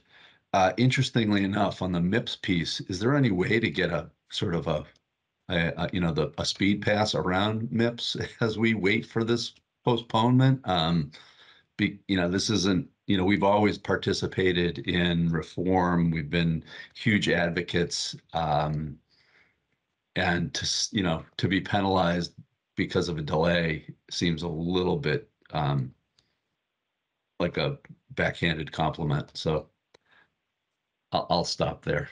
Thanks. I think some of those might be a little beyond today's um, presentation. They're good questions, but we might try and get back to you on those, Mr. Del Trecco, I think. Um, Sure. uh, although I saw Ms. Teachout's hand go up, so um, I'll, Walter, I'll pass you, you're next, but I'll go to Ms. Teachout first. if That's okay. Thank you um, very much. Um, I just wanted to be very clear and say that our decisions about participation in healthcare reform here in the state of Vermont have nothing to do with the proposed affiliation. All of those decisions are made independently by our executive team. Great, thank you for the public comment. Um, and Mr. Carpenter, Walter, please go ahead. Hi, Owen. Can you hear me?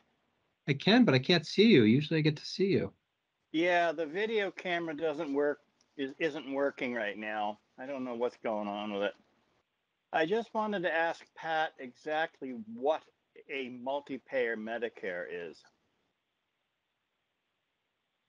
So, What um, does that constitute? yeah, perhaps I, um, I, uh, wasn't clear, so let me take a run at. it. Um, Medicare is a, you know, is a payer, Medicaid, commercial.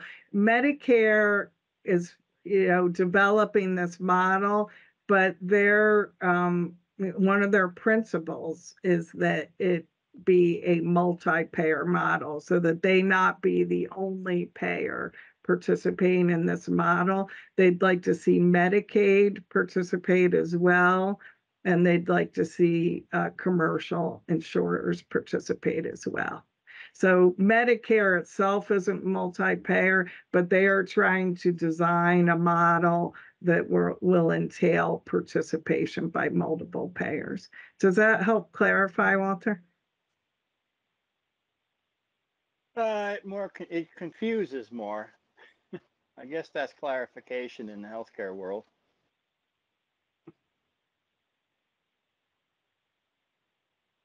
Okay, uh, thank you, Walter, for the question. Any other public comment? Okay, great. Um, Ms. Jones, thank you very much. Nice to see you and we appreciate the update. Thank you. All right, have a good day. Um, so before we turn to Ms. Kinsler, um, why don't we take a nine-minute break and we'll just come back at uh, uh, 2:50. Thank you. Okay, looks like everyone's back, um, so we can resume and I'll turn to uh, Ms. Kinsler. Thank you so much, Mr. Chair. Uh, one moment while I get screen, screen sharing going. Great, can folks, uh, see what they need to see? Excellent. Um, Chair Foster, you should know that we can't actually see you at the moment. Um, or at least, uh, it looks that way to me. Oh, there you are. Okay. Um, all right, well, thank you um, so much for having me at the board meeting today. Um, I'm going to provide an update uh, on the board's work around hospital sustainability, which is uh, update maybe is a little bit of um, a misnomer. Uh, really, it'll be kind of a historical look back. Um, as well as a bit of an update, um, and then an update on our work to develop a global payment model um, as, as required in Act 167. Um, for the record, I should state uh, this is Sarah Kinsler, Director of Health Systems Policy at the board. Um, and I'll uh, I'll actually be joined by uh, an, an old an old friend from uh, our last agenda item, Pat Jones, Interim Director of Healthcare Reform for the Agency of Human Services, um, who co-chairs our uh, Global Budget Technical Advisory Group, and will be speaking uh, to a little bit of that content. So thank you, Pat, for uh, sticking around for uh, the remainder of the board meeting today, or much of the remainder. Um, so I'm going to uh, give us a little bit of legislative history uh, to contextualize this work um, and remind folks kind of how, how we landed uh, in the position of um, pursuing global payments in particular. Um, so big picture, um, it's the board's work to regulate hospitals that has brought this to the forefront for us. And I think um, all the presentations that you've heard today, um, Sarah and Tom uh, to start, Pat just now, um, and then this presentation tied together really nicely uh, in, in thinking about how this work can evolve and support the state's goals. Um, a little bit of background on this work. Um, it's been building for quite a few years now, uh, both in the work of the GMCB uh, and in the legislature.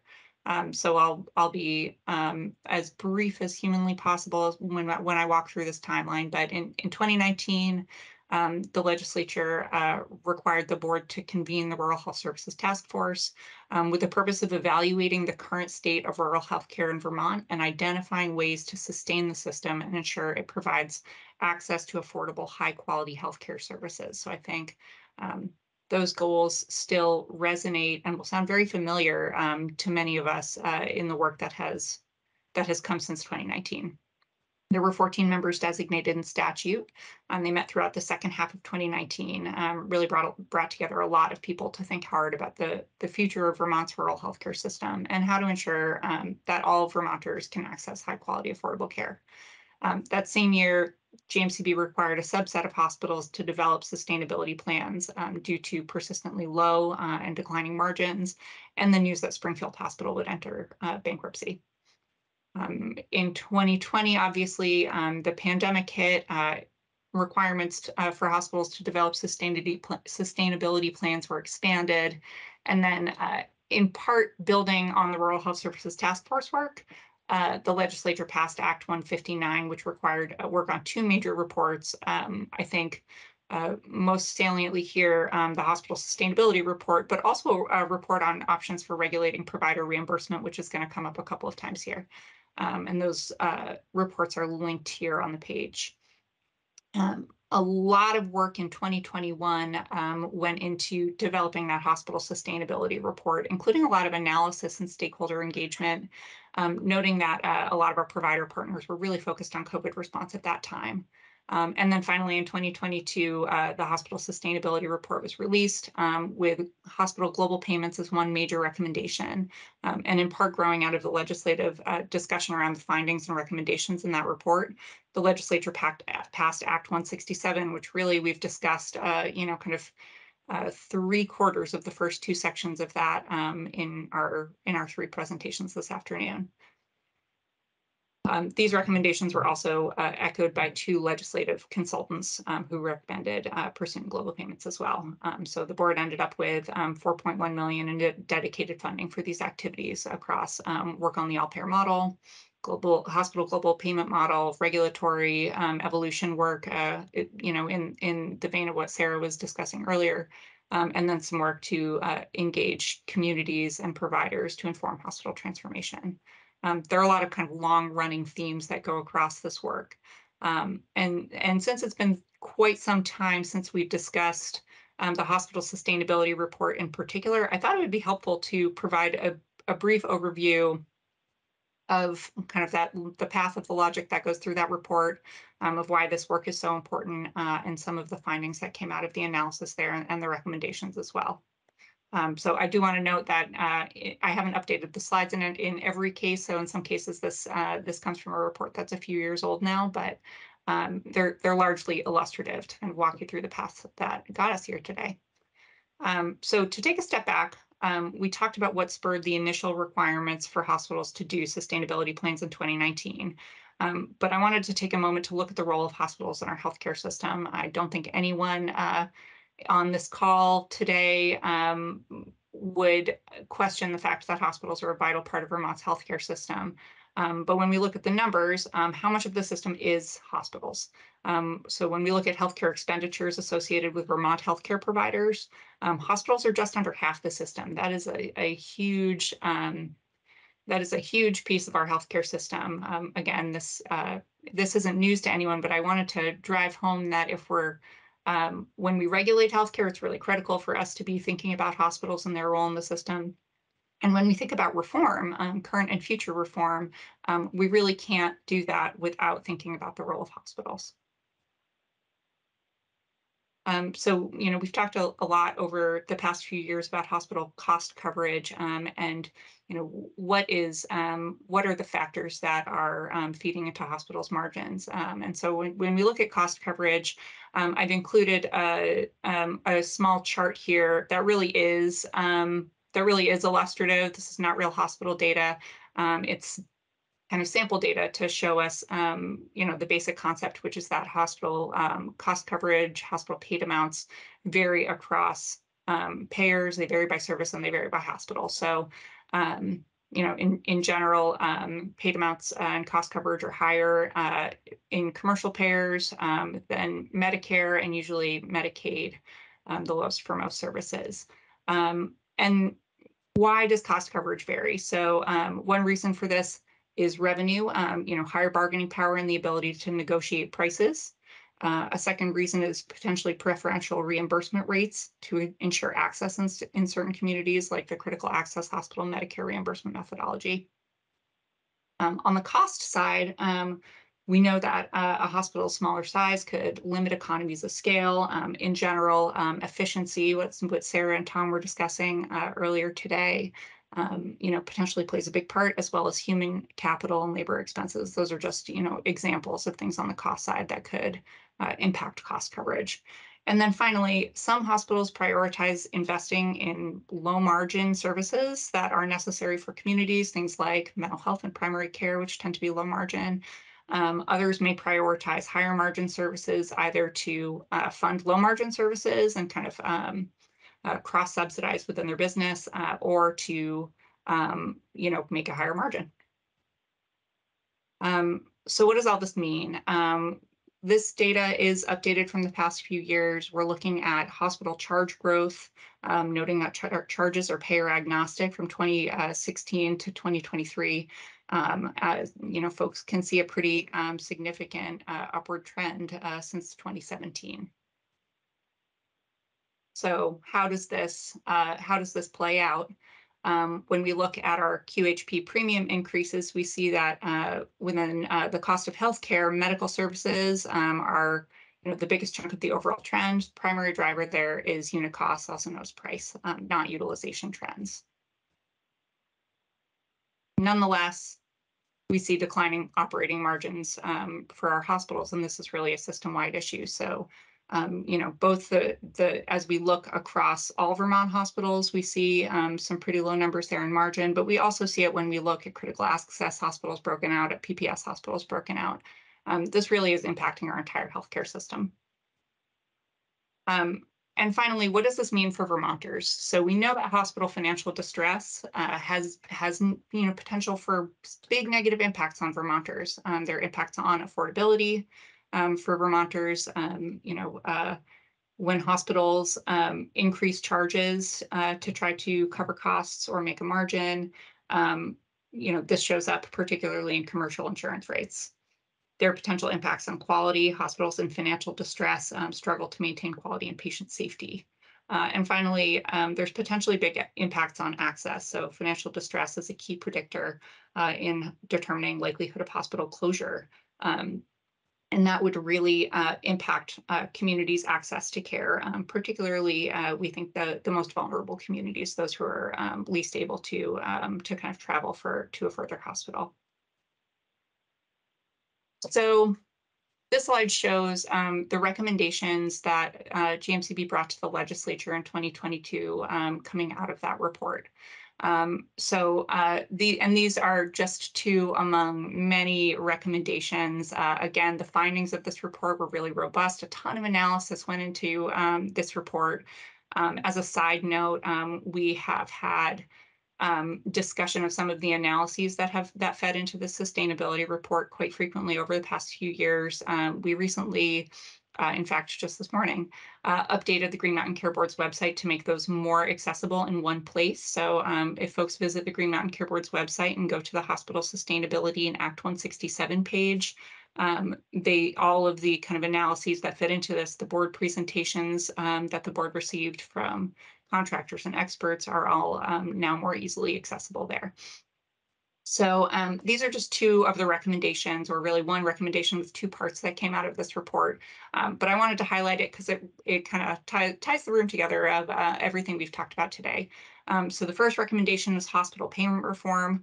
Uh, and really, uh, the hospital payment reform that we focused on um, in this report and in discussions with the legislature um, were hospital global budgets or hospital global payments.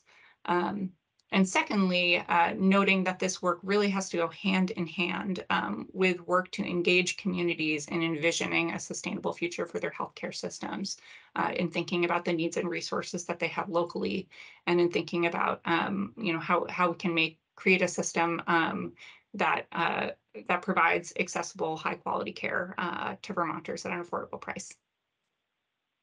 Um, simultaneously, uh, as I mentioned a little bit earlier, uh, legislative consultants were making very similar recommendations. So things kind of coalesced um, ar around the idea of um, a new a new hospital payment model, or, or, at least developing and modeling a new hospital payment model.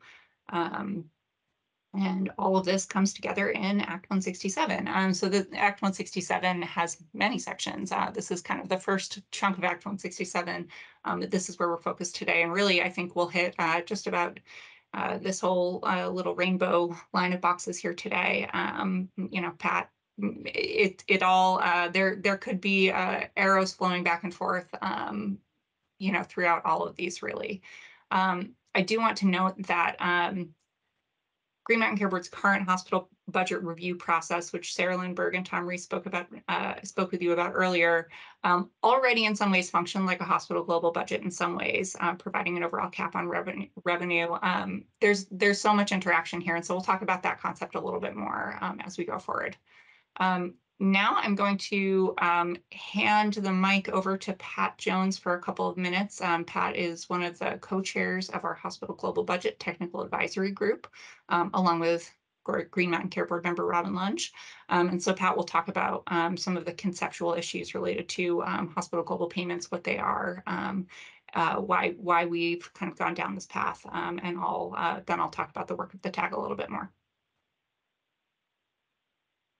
Thank you, Sarah. Um, thank you for letting me come back um, today. Again, for the record, my name is Pat Jones. I'm interim director of healthcare reform for the Agency of Human Services.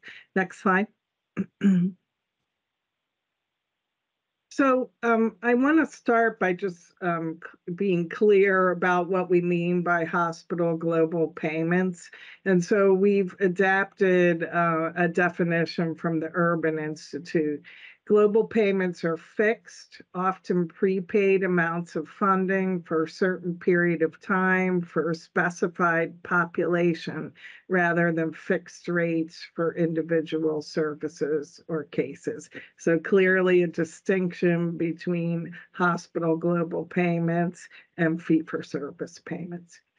Um, one of the reasons, you know, why folks are really interested in looking at hospital global payments as a um, potential payment model is that they can really support hospitals and payers and they can help the state advance our goals in healthcare reform to control costs and to improve quality. The way that they can do that is through, first of all, ensuring steady, predictable financing.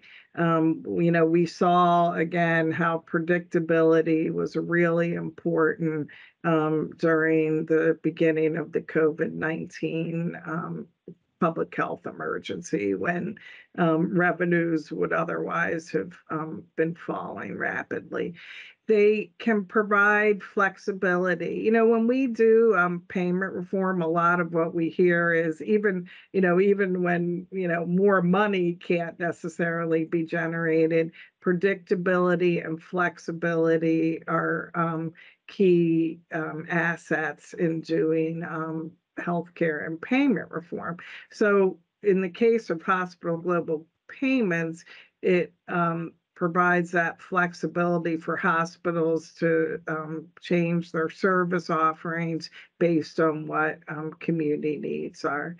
Uh, it can these payments can move financial incentives away from volume and really support more efficient care that reduces some uh, you know avoidable or low value care and result in positive health outcomes. And then um, controlling the growth in hospital spending at an affordable level is another potential benefit of hospital global payments. Next slide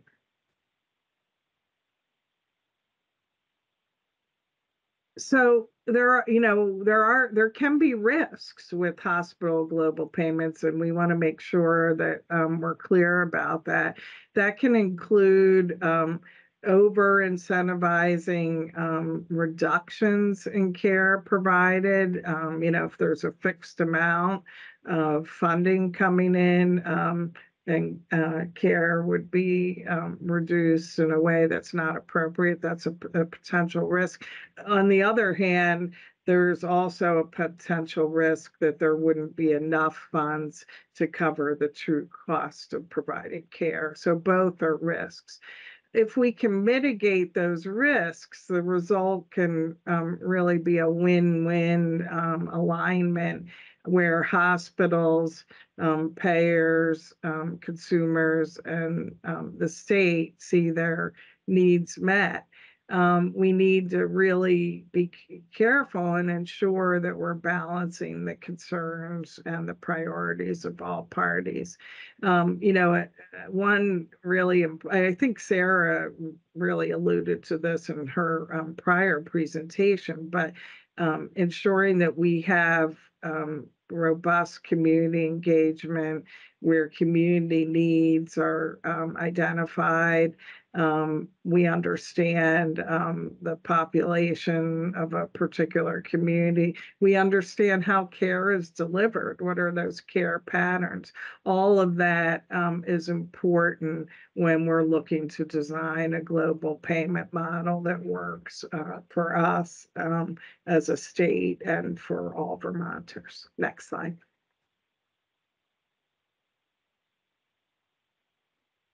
This, uh, um, this depicts, um, in a graphic format, um, what that value proposition can be for global payments. So, um, the goal, improved affordability, better health.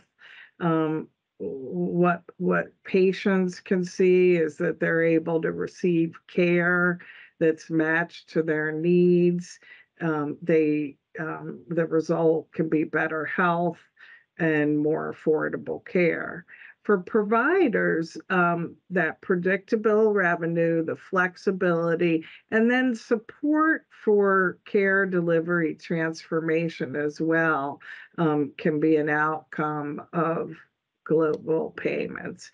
And then for payers, um, predictable cost growth, is a is a potential outcome and then um, better value as well as care um, becomes more efficiently delivered. Next slide. So we, you know, there are some states, um, three in particular around the country that have um, um, attempted uh, implementation of hospital uh, global budgets or global payment programs. Um, one is um, the New York Hospital Experimental Payment Program that was in place from 1980 to 1987. Maryland has the longest tenure in working with um, hospital global budgets. Uh, they have an all payer model and a total cost of care model that's really predicated on hospital global budgets. And that's been in place from 2010 to the present, and it's evolved over time.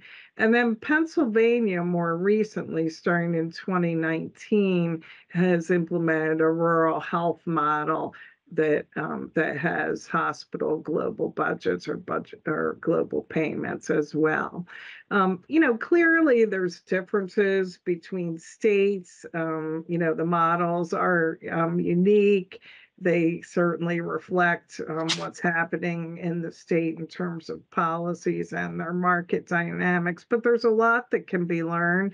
And so Vermont really is looking to these examples to see if we can gain insight as we uh, move forward in considering hospital global payments. Next slide. So this is our, you know, this shows the membership of our um, hospital global budget technical advisory group, a number of organizations um, currently participating. And uh, as Sarah said, uh, board member Lunge and myself are uh, co-facilitating this group. Um, for folks who are on the phone who participate, um, in this group. I want to offer our thanks. It's um, very detailed and technical um, information and discussion, um, very important discussion just to understand um, the current landscape and um, what some of the pressures that the system is facing are, including, I would add, affordability as well as, you know, financial challenges. We have representation from the Office of Healthcare Advocate and from the Vermont NEA on this group, and that's been, um, been very helpful. Next slide. So the purpose and meeting structure, um, the charge to the group really has been to um, make recommendations for conceptual and technical specifications for a hospital global budget or global payment program. We want to try and, um, you know, gather that input so that we're ready when CMMI introduces the multi-state um, model that I referenced during my prior presentation.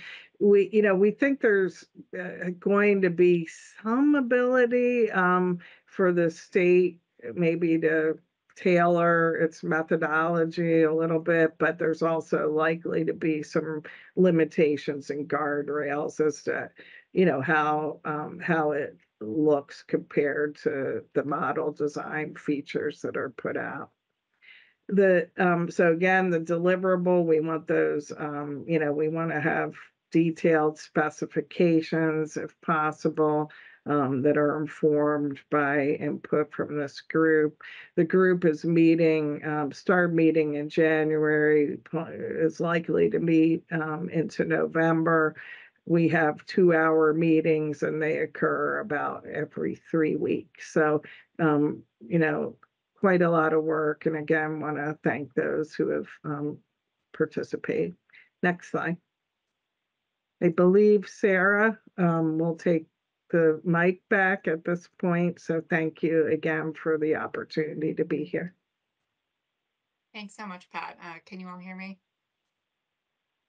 Yes, excellent. Okay. Um, so I'll I'll walk us through a little bit of what the TAG uh, has discussed so far and some of the preliminary recommendations that are coming out of that group, um, and then I'll highlight some areas um, where we think the board will will perhaps have particular interest and and will um, be explicitly seeking your feedback, noting that of course we're seeking your feedback on all of this work.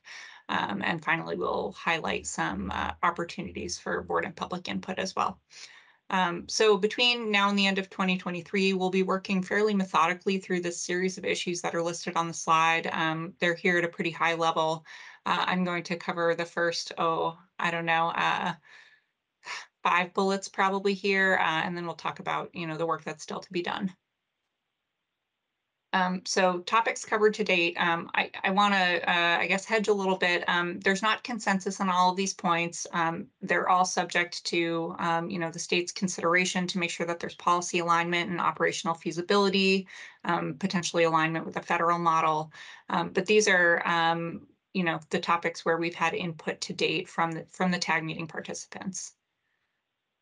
So um, I'll start with services uh, included uh, in the hospital global payments. Um, uh, the TAG uh, proposed that all hospital inpatient and outpatient services uh, be included with the possible exception of infrequent and high cost hospital services. Um, that is an issue that uh, the TAG is going to continue to come back to informed by data to help us get a sense of what exactly that would mean and what that would look like.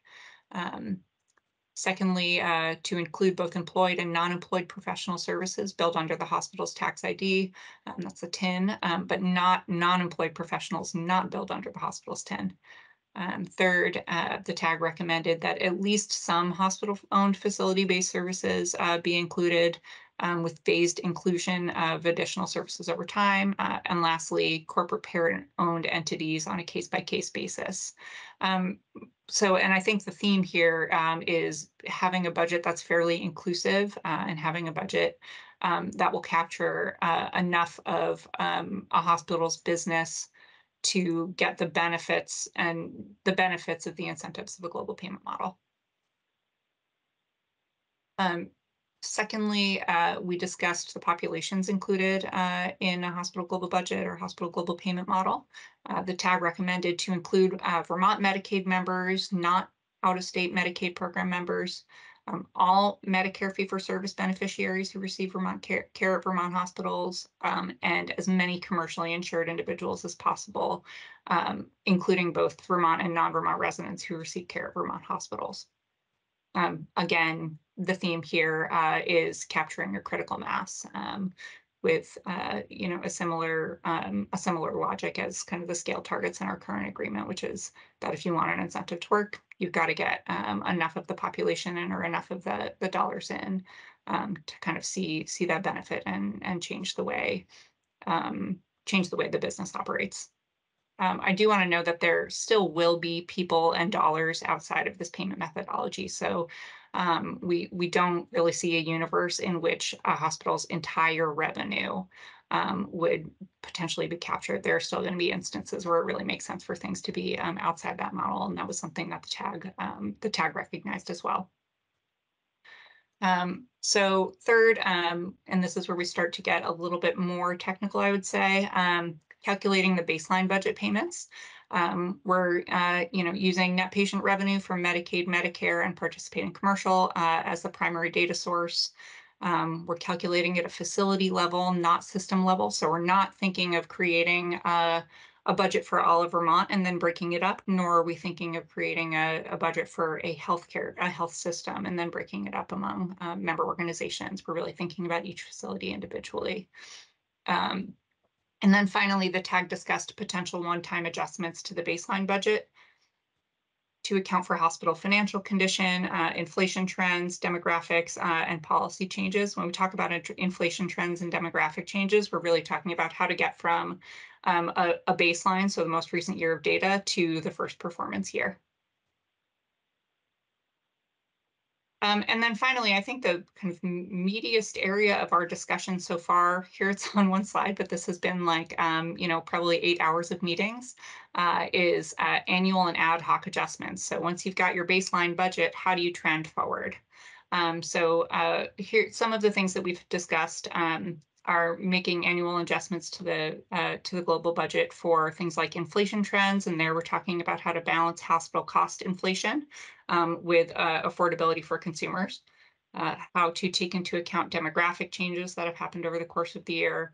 Um, we're also going to have in, in our future meetings discussion about adjustments for things like efficiency or potentially avoidable utilization uh, and how to reward for high value care. Um, Secondly, uh, making annual and potentially uh, mid-year adjustments for changes in utilization. Um, there are two potential approaches uh, to this that we've discussed really at length, um, and we've kind of had mixed TAG feedback. So I'd say stay tuned on that. Um, third, we want to ensure that there's two-sided accountability um, for total cost of care. Um, going back to the slide that Pat uh, presented, uh, in her earlier slides with the portfolio model, that's kind of, you know, those overarching incentives that link um, what's happening at, uh, in a particular provider organization um, or in a payment model designed for a particular provider type and thinking about how that links to um, to the continuum of care uh, and really promotes um, uh, you know pursuing aligned goals for the full population we think is very important still um, and then finally, um, the TAG uh, is discussing uh, considering adjustments for mitigating provider risk, uh, provider financial risk in extreme circumstances. So that might mean things like monitoring for changes in utilization um, or, or monitoring for negative margins beyond a certain threshold that could trigger um, a more uh, in-depth look and potentially an ad hoc adjustment um, to ensure that this model isn't so risky that are, um, you know, that it that it would endanger hospitals. So as we look ahead, um, we're currently working to develop um, a straw model uh, based on the TAG recommendations to date. Um, that straw model development process has required state staff and contractors to really face the face up to some serious data and operational challenges uh, in kind of meeting the TAG's recommendations. For example, we're really struggling um, with uh, inclusion of professional services because uh, of, of kind of the limited number of professional claims that are linked to a hospital, which we don't think quite lines up with the number of professional services that are actually delivered at hospitals. So we're dealing with some data challenges and operational challenges that may prevent us from achieving all of the of the TAG's recommendations or kind of all of the state's goals in the initial years um, of any program that we implement.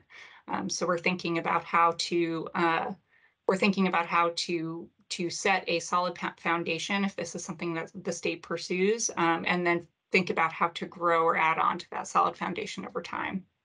Um, and in the meantime, we're continuing to tackle key issues. So uh, strategies to support care transformation, the terms of payer and hospital participation, um, how we deal with budget calculation and payment operations, uh, and I would add to that uh, kind of the intersections with existing regulatory structures in the state, uh, as well as monitoring and evaluation, which we think is a particularly critical uh, area to be focused on um, in light of kind of the, the, the pros and drawbacks um, of, a, of a global payment model. Um, as Pat mentioned, uh, materials are posted uh, online, and I've linked here to where those live on the board's website.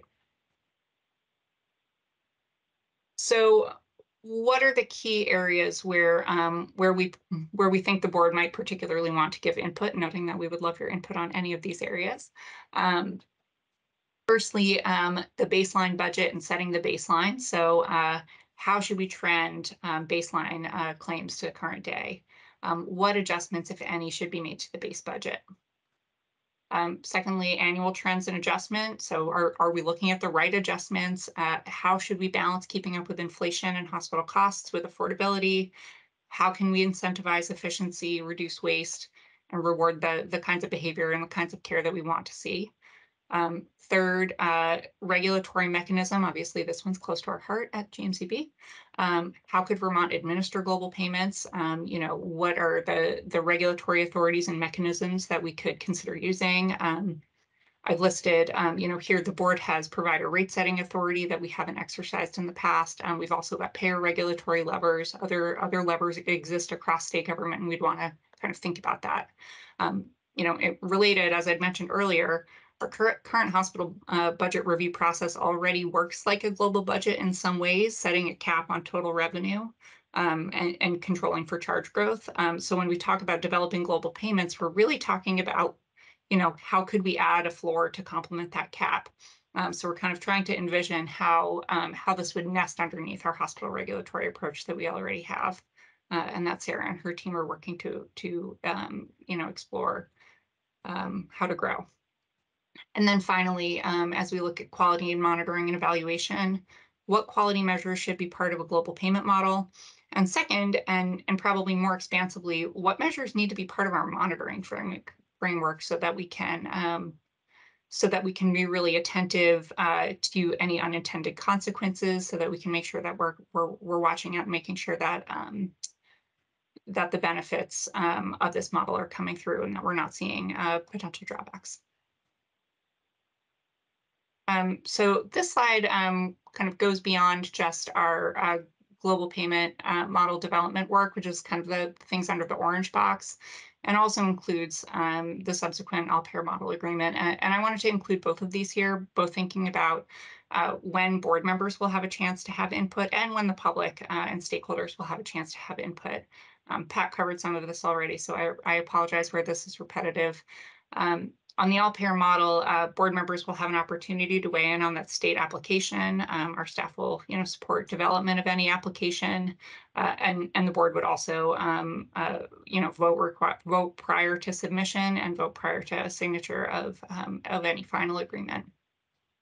On the on the public side, um, you know, we're receiving input on kind of a potential high-level Medicare methodology from the global budget TAG.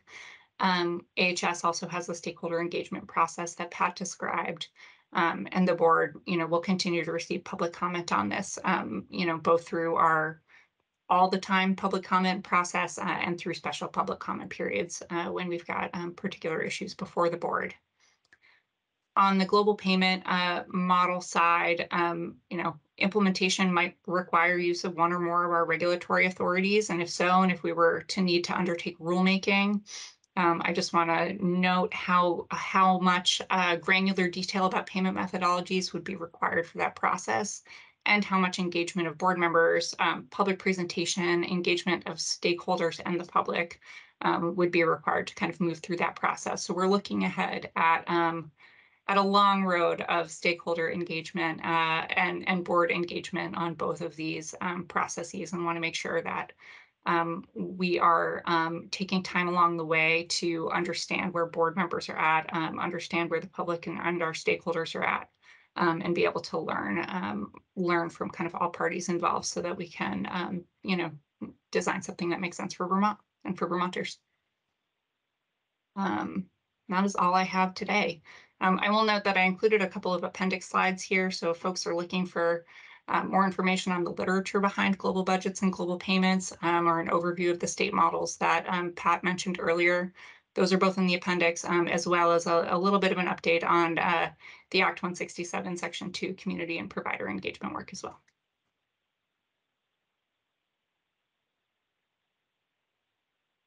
All right, thank you. Um, board member question or comment?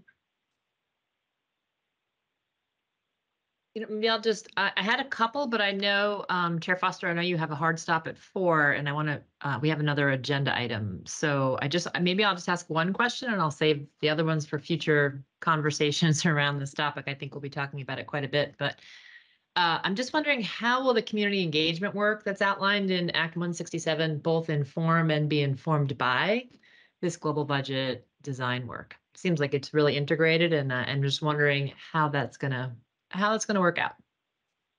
That's an excellent question. Thank you. Um, so I think when we think about the payment model work and the community engagement work, um, one of the things that I think we've recognized in our um, current all payer model agreement, and I think it was Pat uh, or perhaps Sarah Lindbergh who said this earlier. Um, you know, a payment model, uh, a payment model alone may not be sufficient to transform our healthcare system. So I think of the payment model as one piece of the puzzle, um, and and the work that we would do with providers and their communities to think about, you know, what what does healthcare need to look like to serve that community sufficiently, um, and to provide, you know, high quality access to affordable care. Um, as really dovetailing together um, and kind of making each other possible. I will also note that, you know, I, I didn't specifically mention this, but when we think about those adjustments, uh, those annual adjustments, um, you know, to, to the extent that there were, um, you know, that there were transformation initiatives that come out of that community and pro- provider engagement work, which I think we hope, uh, we definitely hope that there will be um, you know, to the extent that there are service line changes or things like that, or new investments or shift of resources, that's something that we would that we would want to be uh, considering in the global payment, um, global budget setting. Um, so they're, you know, both technical links, but I think more importantly, um, thinking about them conceptually as activities that will complement each other.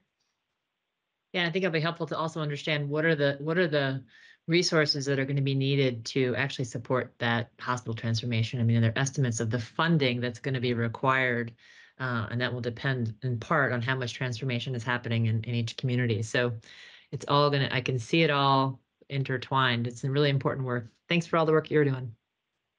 Thank you. Um, I don't have any questions at this time, but thank you both very much, and you're doing great work. I know this is a massive lift, so thank you. Um, I'll turn it to public comment.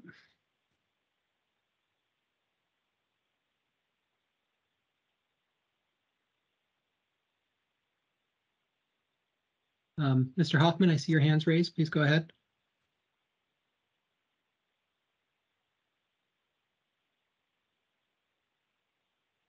Uh, I think you're muted.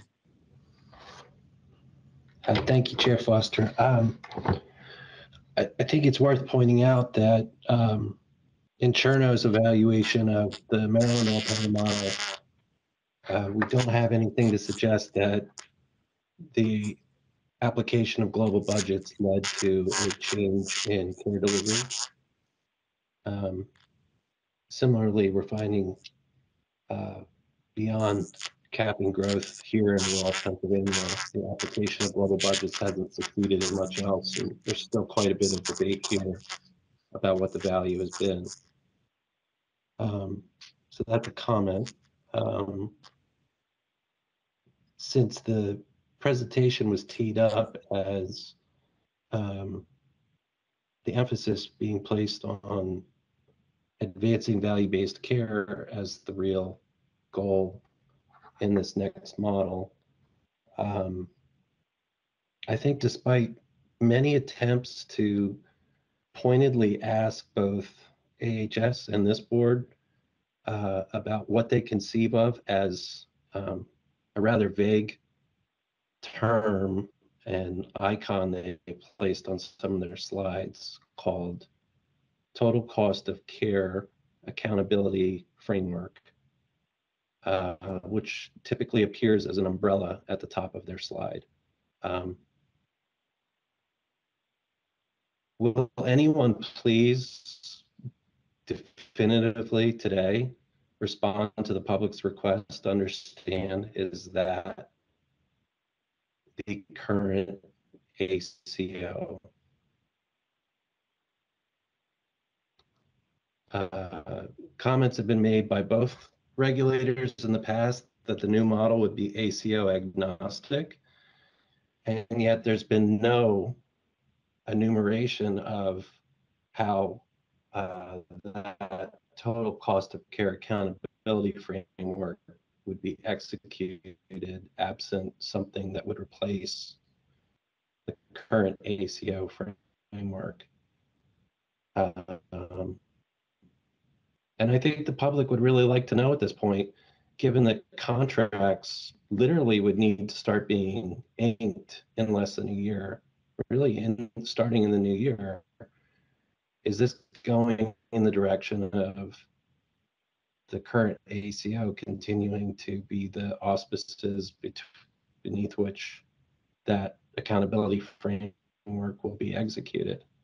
Uh, I think it's late enough in the day that someone, anyone should let the public know if that's where this is headed. Um,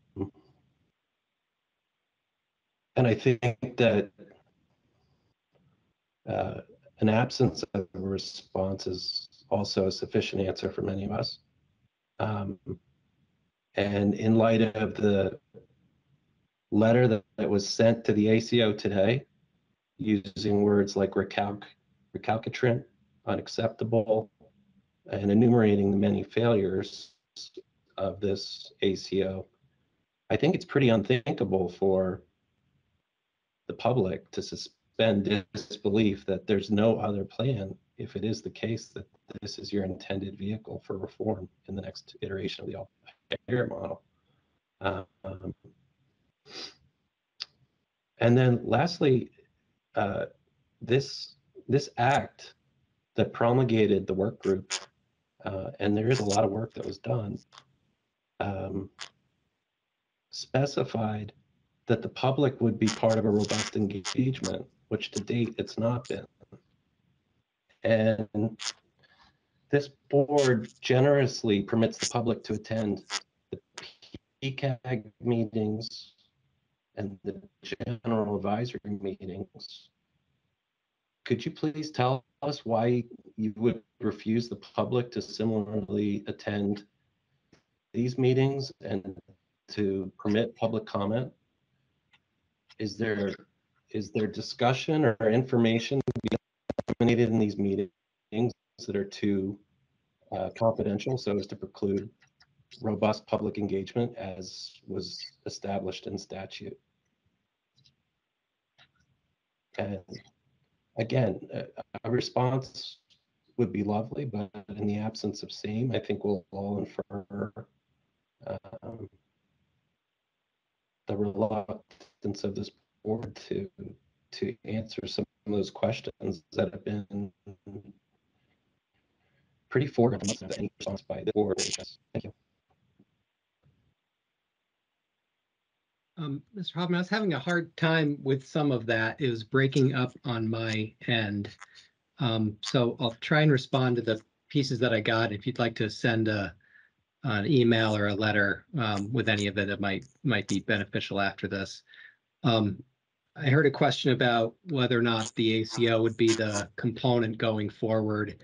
And I think Ms. Jones addressed that earlier in the her presentation. I think the answer was um, that this information is fairly new as to the delay and that we'll be working on all possible um, options and evaluating them. Um, and that that's being worked on right now with CMMI. And I think the other question was about transparency into the um, global budget process. Um, it's something that we're conscious of and thinking of. I think that what we're doing is having public comment being submitted and we're having hearings and updates about what we're seeing and what we're doing. And the public can comment and participate there as they can in all of our hearings. Um, perhaps that changes as we go forward. There is pretty robust participation from a diverse group of people in those meetings, um, including um, the healthcare advocate, uh, payers, hospitals, non-hospitals. Um, so I hope that answered your question, but I didn't quite catch all of it. But if it's okay, uh, it was meant in statute to be robust community engagement. I see robust executive engagement.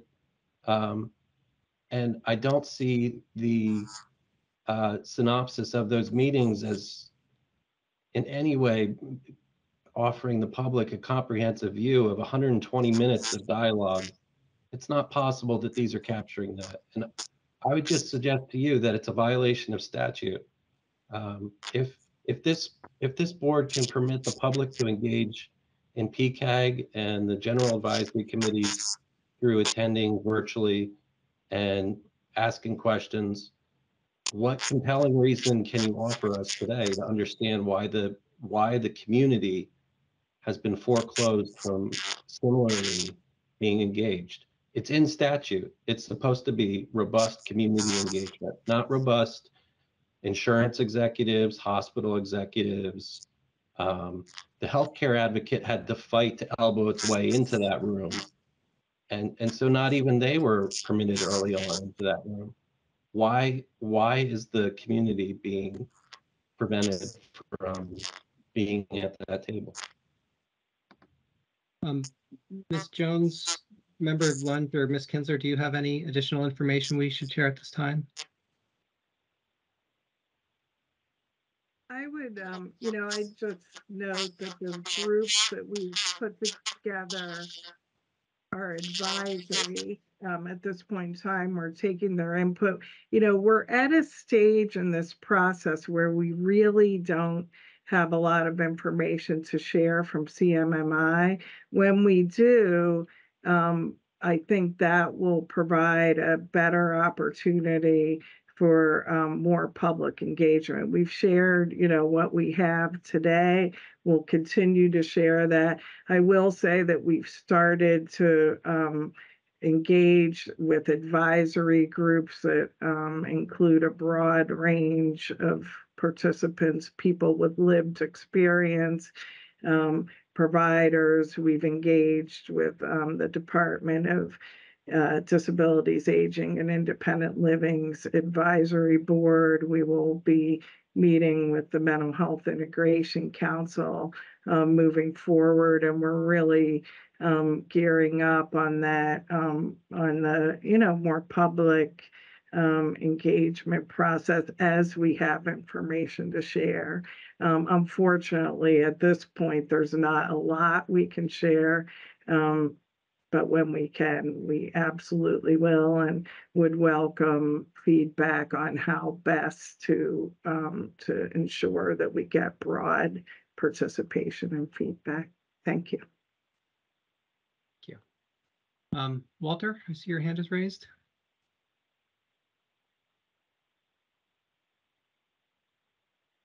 Hi, Ellen. Sorry, my camera is still unconscious. I can't wake it up. I just wanted to build on the previous commentary. Um, around the time of 2015, I sat on a Green Mountain Care Board committee for to study prior authorizations. And the only reason I was on there was because prior authorizations nearly killed me.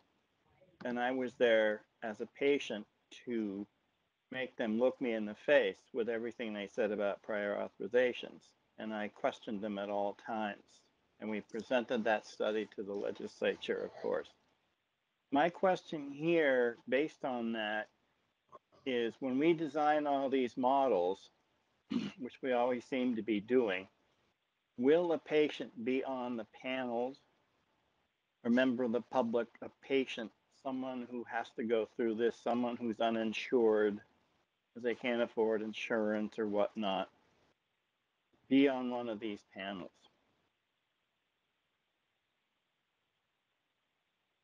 That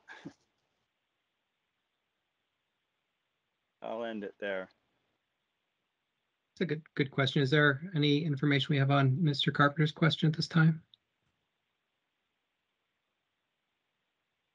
So um, I would again reiterate that we are beginning to engage with advisory groups that include um, people with lived experience and patients, and will continue to do so and would welcome input on how best to do that. Thank you. Uh, Mr. Davis. Uh, Thank you, Mr. Chair. I, I've really got, this, this is really a question I've never really understood about uh, global budgets.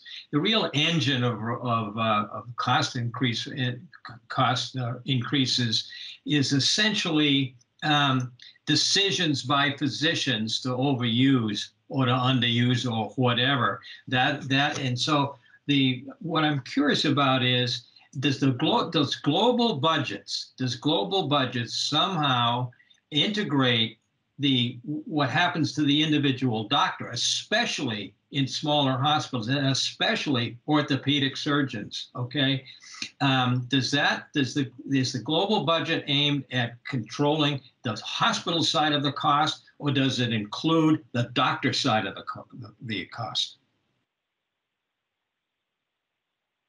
That's my question. Yeah, I think we can address. Member Lunge, do you have anything on that? Sure, happy to, unless Sarah prefers to. Yeah, so I think Ham, you've hit on the reason that the TAG was very interested in seeing professional services included in the payment methodology to align those interests uh, for at least hospital employed um, physicians and others uh, in both primary care and specialty care um, who order the services. So I think that's a that wasn't a feature in the other states' global budget models in the past, uh, but uh, the way that CMMI tackled that in Maryland was to include a primary care model and a total cost of care overlay. So I think from a looking at existing models in the past, there's a couple different ways that you could kind of approach that. You can learn from them and think about adding in more services if we can figure out how to operationalize that. Or you think about combining the global budget with other payment methodologies and a total cost of care, like Pat was describing in the portfolio approach. Uh, well, Thanks, Rob. I didn't, I didn't fully understand that. It, it, it- do we now, are we now talking, when we're talking about a global budget, are we talking about a global budget for the hospital? Or are we talking about the, the cost of the hospital plus the doctor? What is that? What, what is it, what does it mean to you now? You're talking about global budgets. I don't know what global budgets mean. How global are they? That's the purpose of the work group is to work through that on a very detail oriented code specific level so we can model it. So that's that's really the work that's happening now, Ham. Um, when you look at other Medicare models in existence today, it's been inpatient and outpatient facility claims. I think there's been high interest in Vermont to broaden it to include the professional services claims, but nobody's operationalized that. So that's the work that's uh, has to happen. Okay, well, thank you very much for that. Just a comment, the, if, if you want to control the costs, okay? The hospitals can't raise the money unless the doctors do the service. And the doctors do the service based on a whole bunch of things like their professional skills, they, how much money they want to make and so forth. So, because the reality is, if you look at Vermont today, you have X and 2X in the amount of money that gets paid to orthopedic surgeons uh, across the system. Uh, check it out. Trust me, it's there. Thank you. Okay, um, I'm gonna move to our next topic, um, because we gotta get through this agenda item. Um, Ms. Bowles, are you, are you here? Great, and, and thank you, Ms. Jones and Director Kinsler. I appreciate your work on this. Um, Ms. Bowles, take it away. Will do. Um, can folks see my screen? Great. Okay. Um, so last item of the day, I'm hoping this can be pretty quick, but we are back here to talk about the Medicare only ACO guidance. Um, in terms of a very quick agenda for today, I will briefly review the performance data section question that we discussed last week, um, and then hand it back to the board for questions and discuss it, discussion, public comment, and the potential vote. Um, so this slide just has the questions that we discussed last week. Um, as a reminder, we were adding some benchmark performance measures uh, and asking um, in question seven here, the, a holdover from last year, uh, asking whether the ACO benchmarks their performance against similar entities. And then the new question, which is whether the GMCB expects, or um, saying that the GMCB expects to require FY24 reporting of Vermont performance data from the ACO as part of their FY24 budget approval. The reporting requirements will be finalized in the ACO's budget approval. Um, and again, that would be in the fall. Um, and the ACO should review the metrics listed in append Appendix Tab D performance data and justify any proposed deletions or additions to these metrics. Um, again, this is just a repeat slide from last week, um, but as a reminder, the way that this um, question or statement in the guidance is worded leaves um, the opportunity for the final metrics to be reviewed and approved by the board as part of the reporting requirements that are set for these Medicare only ACOs in the fall.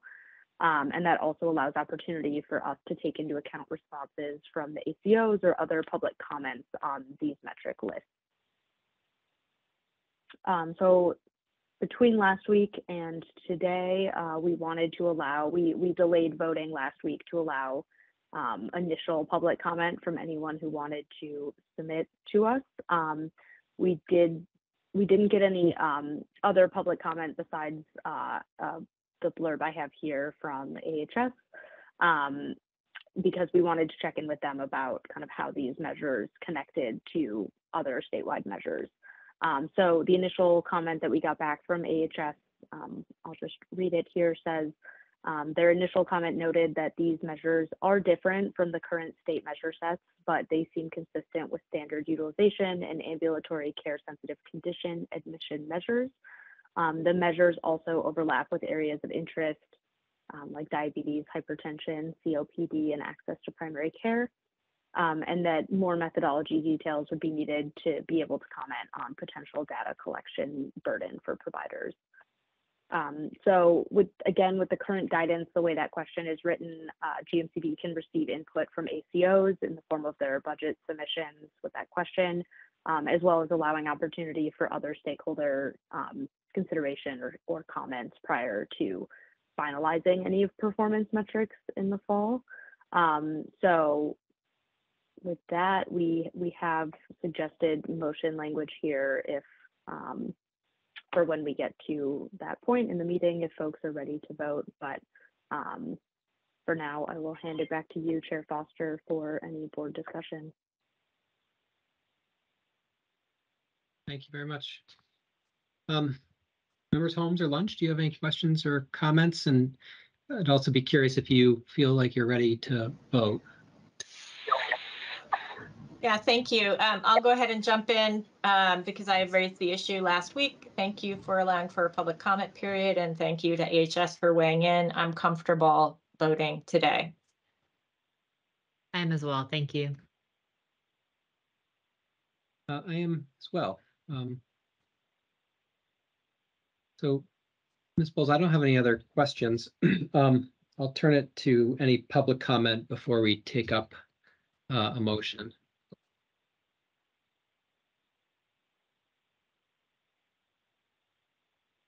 It's throwing people off today because we have two fewer board members and no healthcare advocate. All right, Ms. Bowles, would you mind putting the motion language back up? All right, I will, I will move to approve the fiscal year 24 Medicare only ACO budget guidance as presented by staff to the Green Mountain Care Board. I'll second. All those in favor, please say aye. Aye. Aye. Aye. And the motion and the guidance is approved. Um, Ms. Bowles, thanks for your great work on this. Yeah, thank you. Um, I think that's all we have on the agenda today. So is there any old business to come before the board? I have some old business that I will just briefly bring up, uh, and this will be quick. Um, so I am considering doing a, a proposal related to the fiscal year 24 OneCare ACO guidance related to ACO performance and the payment methodologies tied to cost and quality. Um, but I have don't have that available today. So what I was going to propose is that uh, after I've done a little more homework and make a decision that if I'm going to offer something, I will write it up and ask staff to post it by next Wednesday on the ACO budget page so that the public will have an opportunity to see it and provide some input and feedback and public comment, as well as, of course, uh, that my colleagues will have time to react to it and think about it. So I just wanted to mention that uh, so that anyone who's interested will be looking at our website for it next week potentially. So no promises, but uh, just wanted to announce that. Great, thank you. Anything else? Okay, uh, is there a motion to adjourn? So moved. Second, All in favor, please say aye. Aye. aye. Aye. All right, thank you, everyone, and have a good day.